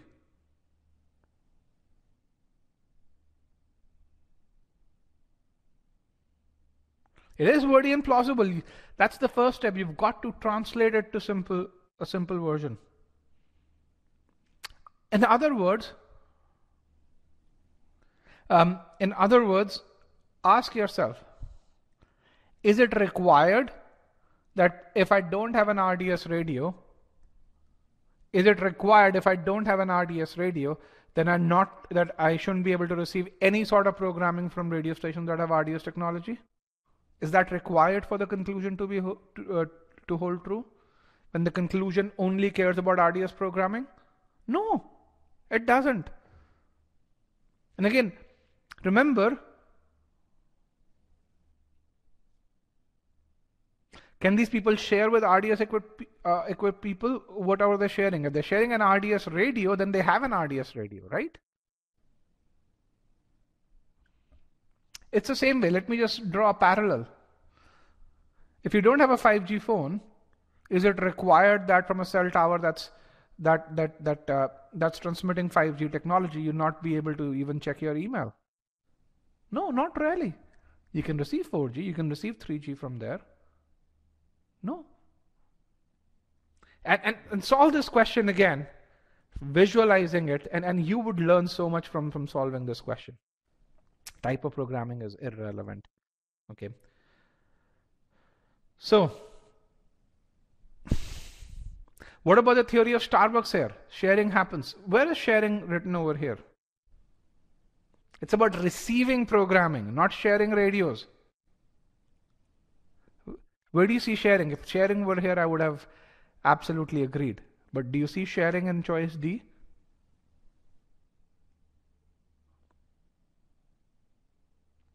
Choice D is all about tower to radio. It's not about radio radio sharing. Okay? Remember, sharing is different. And again, this is the beauty of this is when you make a mistake, you have to understand why did you make a mistake. If you understood the logic of the argument properly and still cho- chose choice D, then why did you make a mistake? What's the reason you made a mistake? Can someone tell me? What's the causal part for e-GMATers who do strategic review? What's the reason you made a mistake?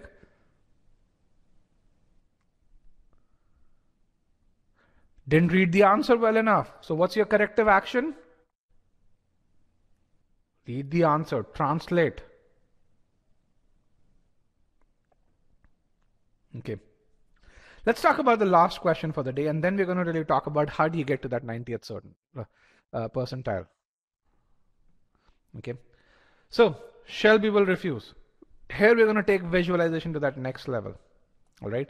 So let's assume last year we, we collected a bunch of refuse and, and we, we did not send any for recycling. We actually incinerated everything. Now I could not find a good icon for a truck so I have an icon for a trash can. So if one trash can is equivalent to one truck, how many trucks did we send last year for incineration?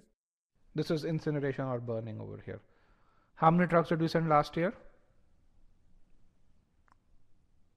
All. What's the count? 10. Okay.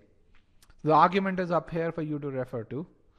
All right. So here is my question to you. If this year, if we collect the same amount of refuse, how many trucks do you think we're going to send as per the argument? How many trucks are we going to send? Half. What is half of 10? 5. Right? Now, here is my question to you, and I'm going to put in a poll question here, and this is as simple as this. If instead of collecting, if instead of collecting the same amount of refuse, if we collect 10 times as much refuse, if that refuse is 10x, 10 times as much refuse, then how many trucks do you think I'll be sending for incineration this year? If I sell, if I if we collect 10 times as much refuse, if this entity is 10 times as much as what it was last year, how many trucks do you think will send for incineration this year? Three, two, read the argument, then select an answer three, two, and one. All right, let me end the poll. Let me broadcast the results. Half of you got this question right, but only 24% of you, with those who chose five, understood the logic in this question. And, and, and this the language in this question is so beautiful that, that I thought, you know, we need to have this question here because this is, is also tells you why you need to visualize. Okay, let's read the, the language here. This year, city services will, sep- the correct answer is 5 by the way, if you didn't get it, will separate for recycling enough refuse to reduce the number of truckloads to be incinerated to half of last year's number. Okay, what they're saying is, regardless of the how much garbage we collect, I'm only gonna send half as many truckloads as we sent last year to be incinerated. Can you see that? I'm going to separate for recycling enough refuse to reduce, to is a purpose word, the number of truckloads to half of what it was last year. So if last year if we sent 10, this year I'm going to send 5 regardless of whether this number is 10 times what it was last year. Can everyone see? Yes? No? All right, perfect. Okay, and that's really important. That's the level of understanding I want you to develop. Okay, so last year all the refuse was burned. Burning generated a ton of ash. This year we'll send half as many truckloads that we sent last year. We'll recycle the remaining. And the conclusion is the ash generated this year will be half of what it was last year. Frankly, if you look at this versus if you look at the highway miles questions, again, you can draw similarity. There we increased the toll by 50%, and the goal was to increase the revenue by at least 50%. Why would I assume 10 in the first place? Okay, can anyone tell me why would I assume 10 in the first place? What am I trying to do over here? What are we trying to do? Visualize, yes. That's the whole thing that we've been doing in this entire webinar, right? Visualize. Okay, same question, falsification question. Under what conditions will the ash generated be more than 50% only if I'm sending half as many truckloads? What's the only condition in which I can generate 50% more than 50% ash of what it was last year if I'm sending half as many truckloads? What's the only condition? If the concentration is more, more ash per truck, yes. Okay, more ash per truckload. That's it. That's the only reason. Forget about recycle. I don't care if you recycle something or if you put it in a uh, uh, uh, uh put it in an earth pit. I don't care about it as long as you're not burning it. It's not generating ash. Okay, if on an on every truckload basis I generate more ash uh, on average, then I'm gonna go. I'm gonna generate more ash overall. Is that clear? That's the only condition. The logic is as simple as that once you visualize the argument.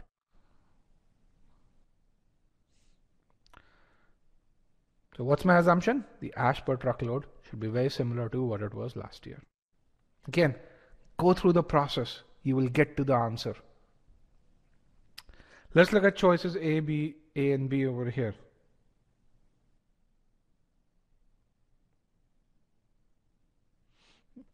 This year, no no materials that's uh, could separate for recycling would be incinerated. This is the must be true answer. The only thing is it doesn't provide any new information. You can infer this from the argument. And hence, because it doesn't provide any new information, even though it satisfies the must be true condition, it is wrong. You can infer this from the argument. Oh, you want to see what you chose? Here is your answer choices. This is what you guys chose. You should be able to see a mark against your name. Against the choice, sorry, not your name, against the choice. Choice B is about cost. You know, we don't care about cost, we care about the amount of of of of, uh, of refuse, so that's not true. Choice C talks about oh sorry, that was the RDS poll. My bad. Man, what am I doing? Sorry about that.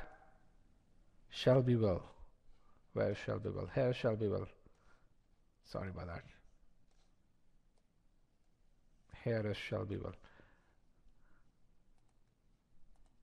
I get too excited sometimes. You guys can feel that. Okay, I'm going to curb my energy. Now, can you see the Shelbyville poll? No, no, it's not Red Bull. I'm a more of an espresso guy. So, uh, yeah, I, I'm very much into materials that that we've known for uh, 200 plus years. Uh, not so much the the new stuff. All right, so these are your polls. You can see uh, choices C, D, and E were very popular. Choice A was somewhat popular. Now let's talk about choice C. Proportion of recyclable materials we don't care. Why? Why do we not care about choice proportion of recyclable materials? Because we are only going to send half as many truckloads. Okay. People who chose choice C.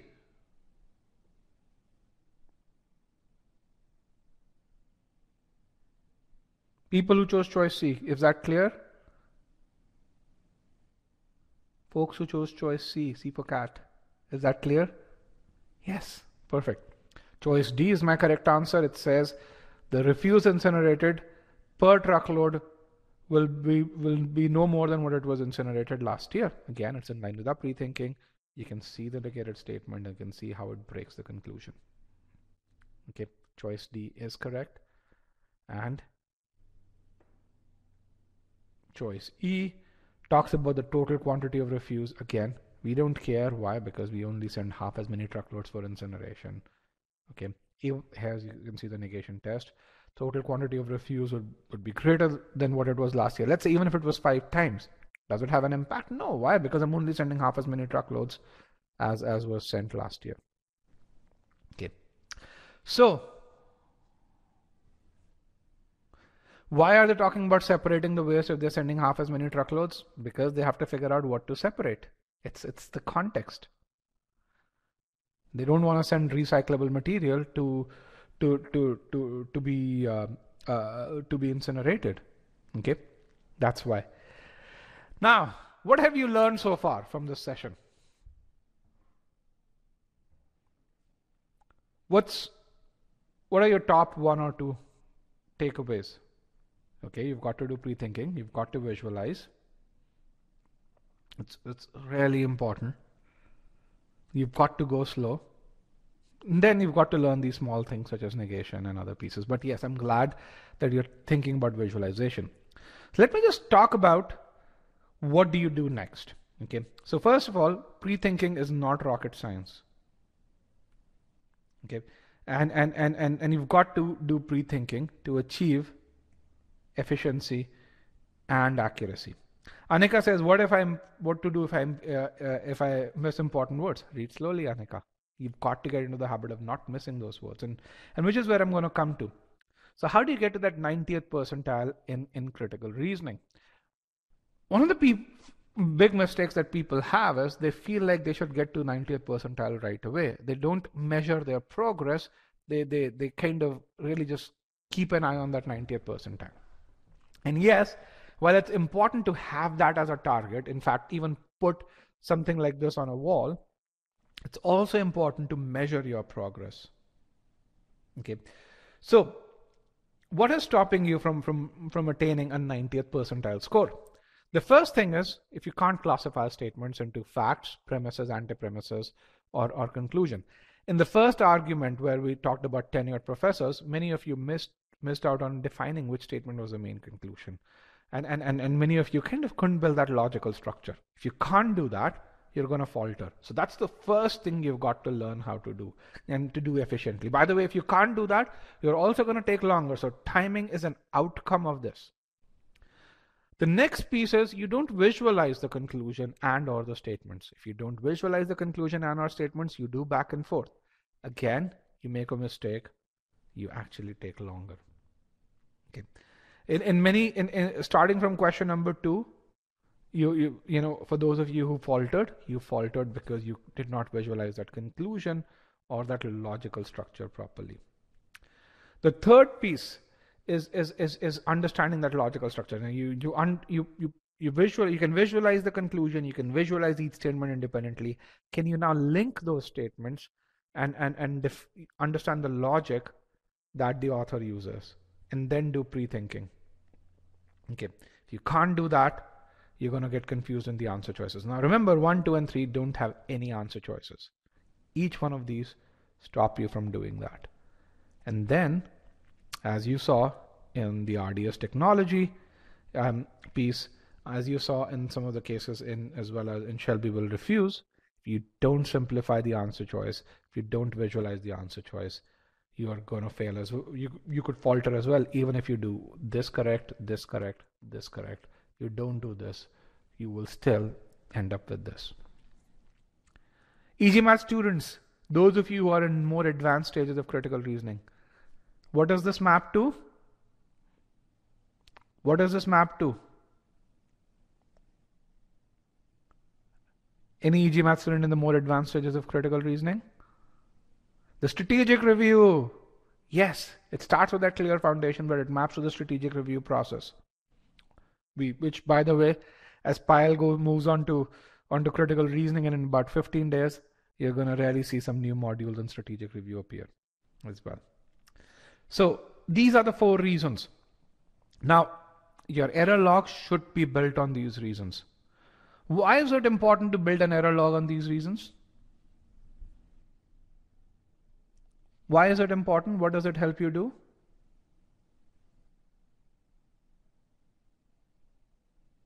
Can you guys tell me? A, it, yeah, it helps you understand the behavior that leads to a mistake. If you do this about uh, across 20 questions, you know which behavior and which weakness is, is, is, is, is making you make a mistake, right? Once you can zero down on mistakes, you can avoid making those mistakes in the future.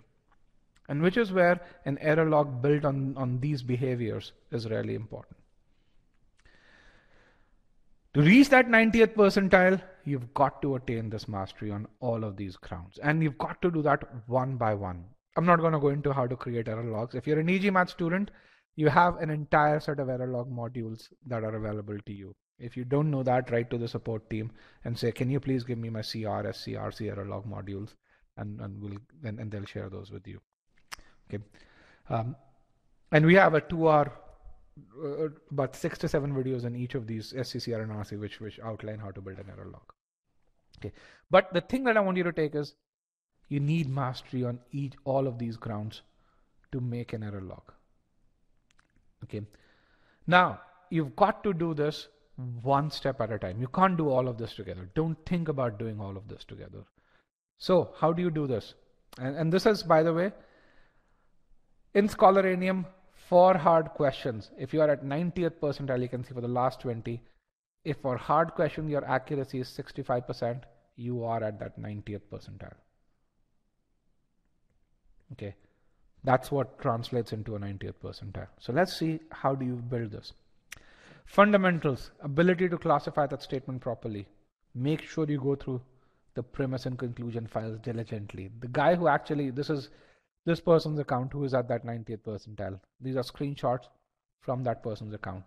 Just building that foundation, you can see it's about, you know, two and a half hours of effort just to do this. And, and, and when you spend two and a half hours doing this with examples and, and with these kind of evaluations over here, these are not the fact that you've completed the file, the fact that how you scored in the evaluations in there. That's when you know you have the foundation. Now, how do you make sure that you can learn how to visualize the conclusion? These files help you do that. And, and, and, and, and, and, and, and these are part of your free trial. And again, you can really see how much effort. There are about 25 examples in here. You can see the kind of time that's being spent on these files. When you do that, that's when I can really say, hey, you've been able to, to build that visualization. Now, Step number three, pre-thinking question and and unanswered choices is across. This is just the assumption module, by the way. And you can see the amount of time. But the beauty of this is, as you're doing this, you have done this across 30 to 40 arguments. And if you're doing this right, you will have learned how to visualize arguments, which not only helps you in assumption, but it also helps you in evaluate, it also helps you in strengthen, weaken, and all the other areas. Now, one other thing that I want to really say is you can see how the argument structures, how these files are divided by argument structures. Here, pure logical gap, one of the most fundamental things. Here we are comparing two entities. Here we are comparing segments. Here we have combined segments where entities and segments. Some of the most challenging 700 level challenging questions really do a combination of entities and segments. Okay, and then we have a separate set of pre-thinking file. It's the same process. It's just the structure of arguments is varied so that you learn one step at a time. And that's really important. So building that muscle, uh, uh, uh, you know, building one muscle at a time helps build that CR strength. And, and that's what leads to that 98 percentile score. Okay. So, so this is something that I want, if you're an e-GMAT paid student, I want you to go through. Okay. And, and, and people do this. I mean, this is incredible improvement. You can watch his, his interview on, on, on YouTube. This is an entire 40 minute long interview. And this guy was someone who's really good in physics. And he thought he was really good in, in logic, but he kind of recognized, he says, hey, language is a way of manipulating your mind, and the GMAT's really good at it. Just spend that extra 5 to 10 seconds doing that pre-thinking. He didn't even take 15 seconds. I mean, the guy was sharp, but but he was still at that 570. And and you do that, you'd be able to overcome most most traps. Okay. So as next steps, go take a look at your free trial. Okay. And you can do this in about 10 to 12 days if you're just doing this. When I say along with your work, of course. Uh, so if you're spending two to three hours a day and slightly longer on weekends, you can do it in 10 days. Okay. With that, um, I want to thank you guys. I can see there are a few questions, but um, let me share the session PDF. And um, if you can, in the Q&A pod, put in your feedback for the session, that'd be great. Also, because it's the beginning of the month, we have, I think for today and tomorrow, we have a we have a deal going on where we are offering a $50 discount. So if you want to uh, uh, make use of that, definitely do that. So our YouTube channel, um, for all the debriefs that are talked about and many more, you can um, subscribe to our YouTube channel over here and you can watch some of the debriefs uh, in there as well. Um, let me share the session PDF with you too. Session handout.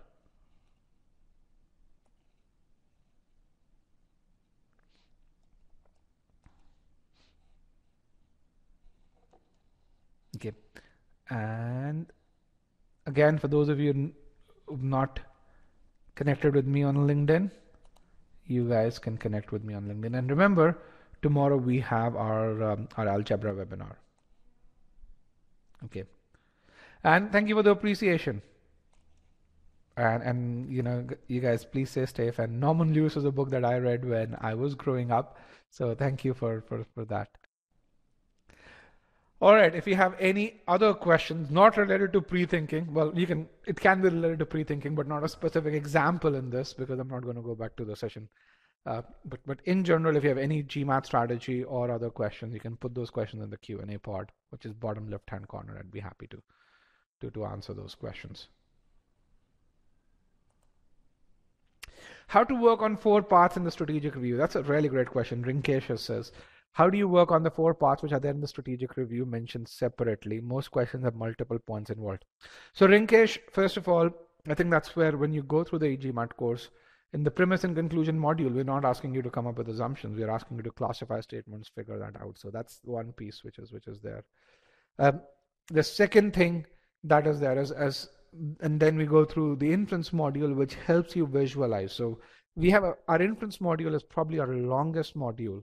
And a lot of people think, okay, I get only a couple of inference questions at, at most in in on the test. Why is it that you know I, uh, e-GMAT requires that I spend five days on inference? The reason is because your ability to visualize statements helps you in every question, not just in, in, in critical reasoning, but also in reading comprehension. So, so, so that's how we build those skills. And then as you go into the assumption module, we again go slowly over this. So that's how you build those things. Okay. Now there's another question, strategic review. When should you start doing strategic review? Um, in in this in the third concept in um, in, in in assumption module is when you should start doing strategic review.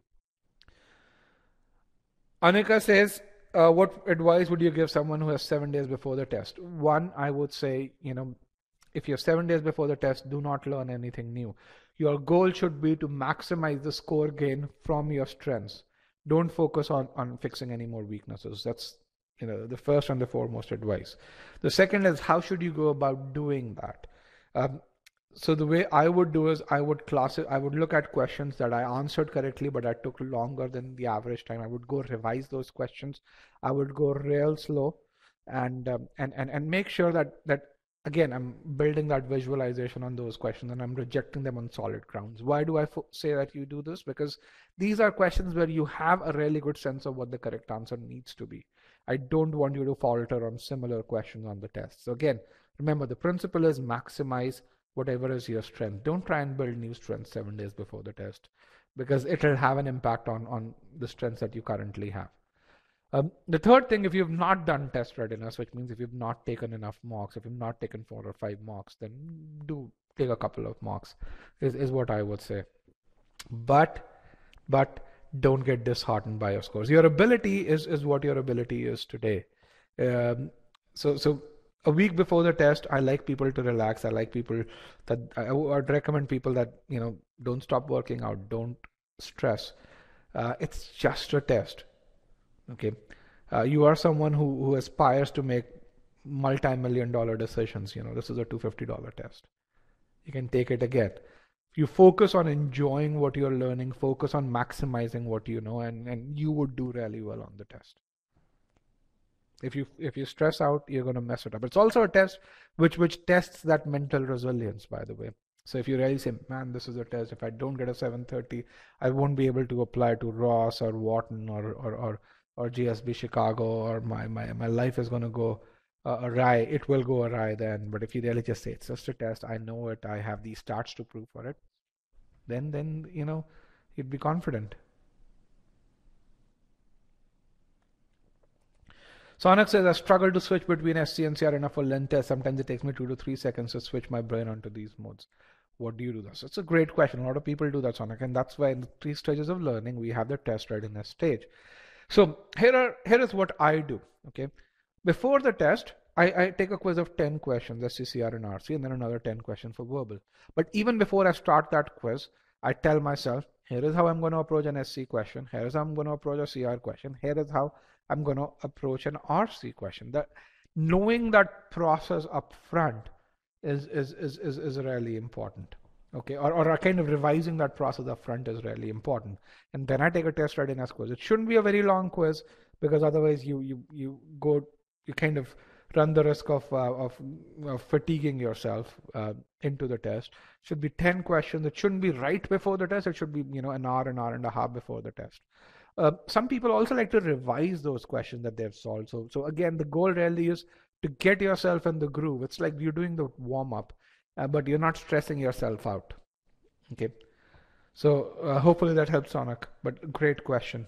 And again, if you know how, if you don't know how to build test readiness quizzes three, four, ten days before the test, then then write to the support team and um, and and they will share you the share the GMAT strategy page with you which has you know the piles videos on how to build test readiness quizzes. Ravina says I'll be starting prep this month. Is two months enough? I don't know what your starting score, Ravina, is. I don't know what your starting abilities are. But if you write to the GMAT team, if you write to me at rajat@e-gmat.com, then um, then someone will be able to. And if you take a Sigma X mock, um, and then we'll be able to tell you whether two months are enough or, or how many hours you need. It's it's not the number of months. It's exactly it's actually the number of hours uh, that that matter. So um, so so that's what I would recommend that you do. Let me uh, put in um, a link to Sigma X mock um, in in this over here. So below my LinkedIn.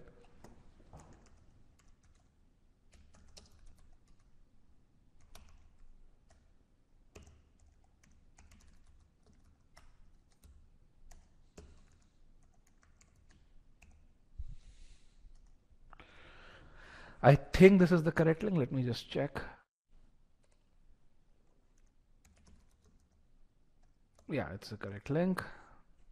So here is the link which is there. It should be opening on your screen.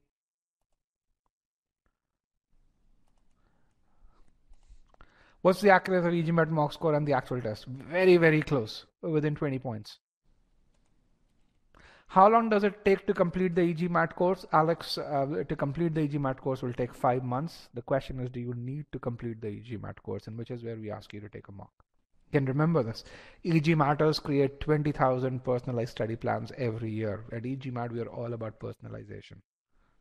Okay, we don't sell plain vanilla. We sell a plain vanilla course, but the course is, the learning is personalized to you. Anika says, do you have any tips to do when I get stressed during the test? don't get stressed, Anika. It's just a test. I mean, that's how I, I tell people. It's it's not your life. It's a test. Enjoy it. Enjoy it. Enjoy the question in front of you. Just tell yourself, you know, I can't go back in time.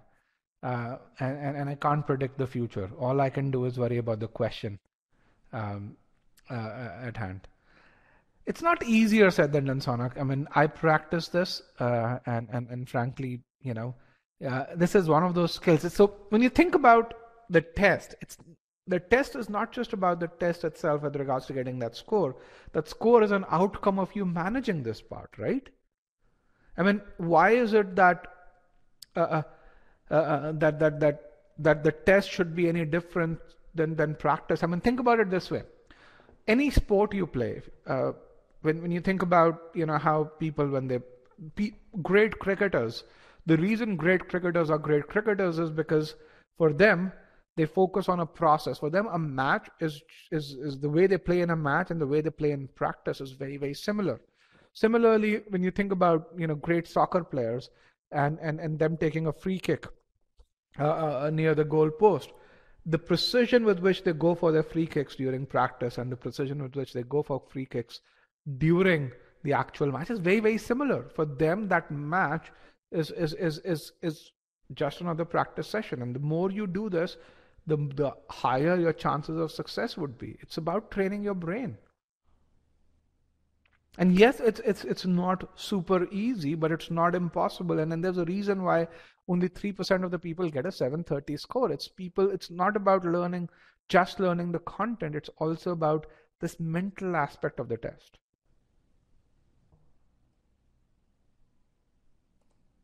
And again, don't make the test bigger than what it is.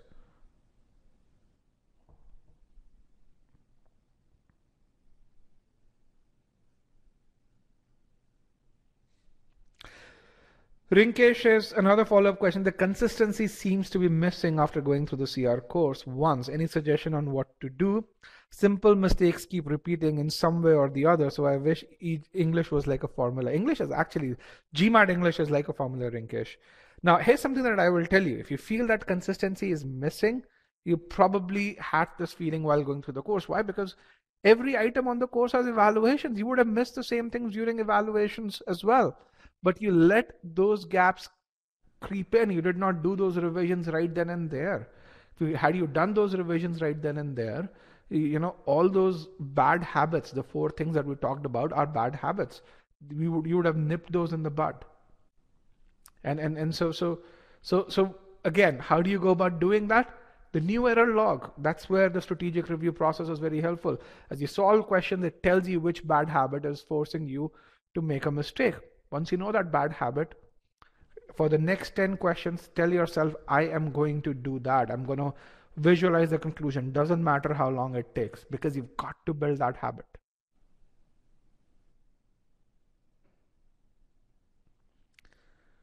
Rinkesh, that helps? Okay. And, and remember this, even quant is not a formula because if life were a formula, then everyone would get that 97th percentile or that 99th percentile. Then, then, then essentially you wouldn't have any means to go forward in life. Reading a question two to three times for better understanding is that the correct thing, or, or you shouldn't be waste time like that? Sri is asking that question.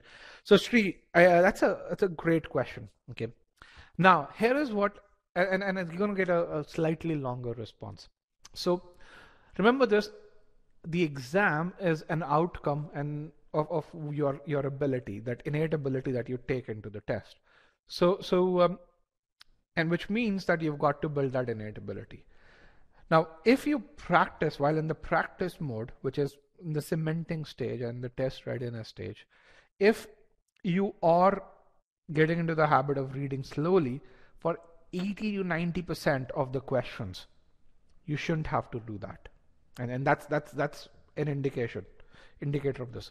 For 10 to 15% of the questions even 20% of the questions you may have to read them twice and then that's okay. Why? Because if you inculcate those good habits you won't have any timing issues uh, in the test and then you'll have time to read them twice or thrice. On the other hand if you don't practice reading slowly before going into the test, and I say before going into the test, 20, 30 days before going into the test, you're going to have this feeling on 45, 50% of the questions, which means timing problems are going to creep up, which means stress is going to creep up. And, and that's something that, that you don't want. So, so if you're following the right process, and and um, and and then you know on a, on a few questions you'll have to read it and that's natural okay remember this that 90th percentile guy that i showed his accuracy on hard questions was 65 to 68 percentage so you still make mistakes it's not that the 90th percentile guy does not make mistakes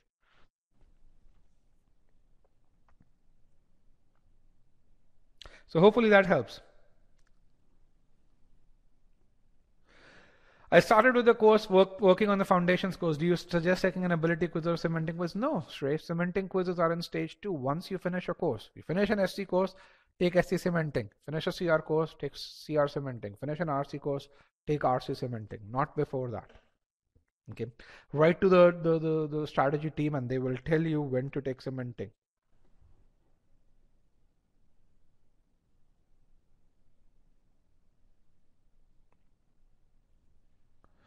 does a bad mock test keep you way way behind towards the goal of achieving um,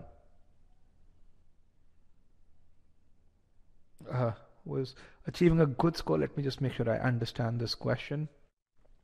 Does it uh, keep you way behind? Yeah, does a so should a bad mock should should a bad mock test matter?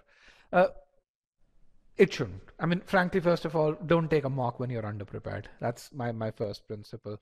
You should warm up your mind should be fresh um, so, so that you don't have a bad mock. But if you have a bad mock but if your all your other stats are there then then i won't worry about it and that's the, the the value of of you know the fact that we capture everything we can really tell you what your true ability is in fact we can even tell when people are sharing accounts because hey you see someone's doing so well over there and then suddenly they take this quiz and you know those stats don't match up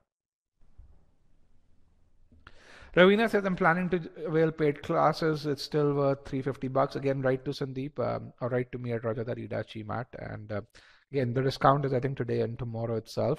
So, so we'll, we'll send you a discount coupon if it's not in your email already.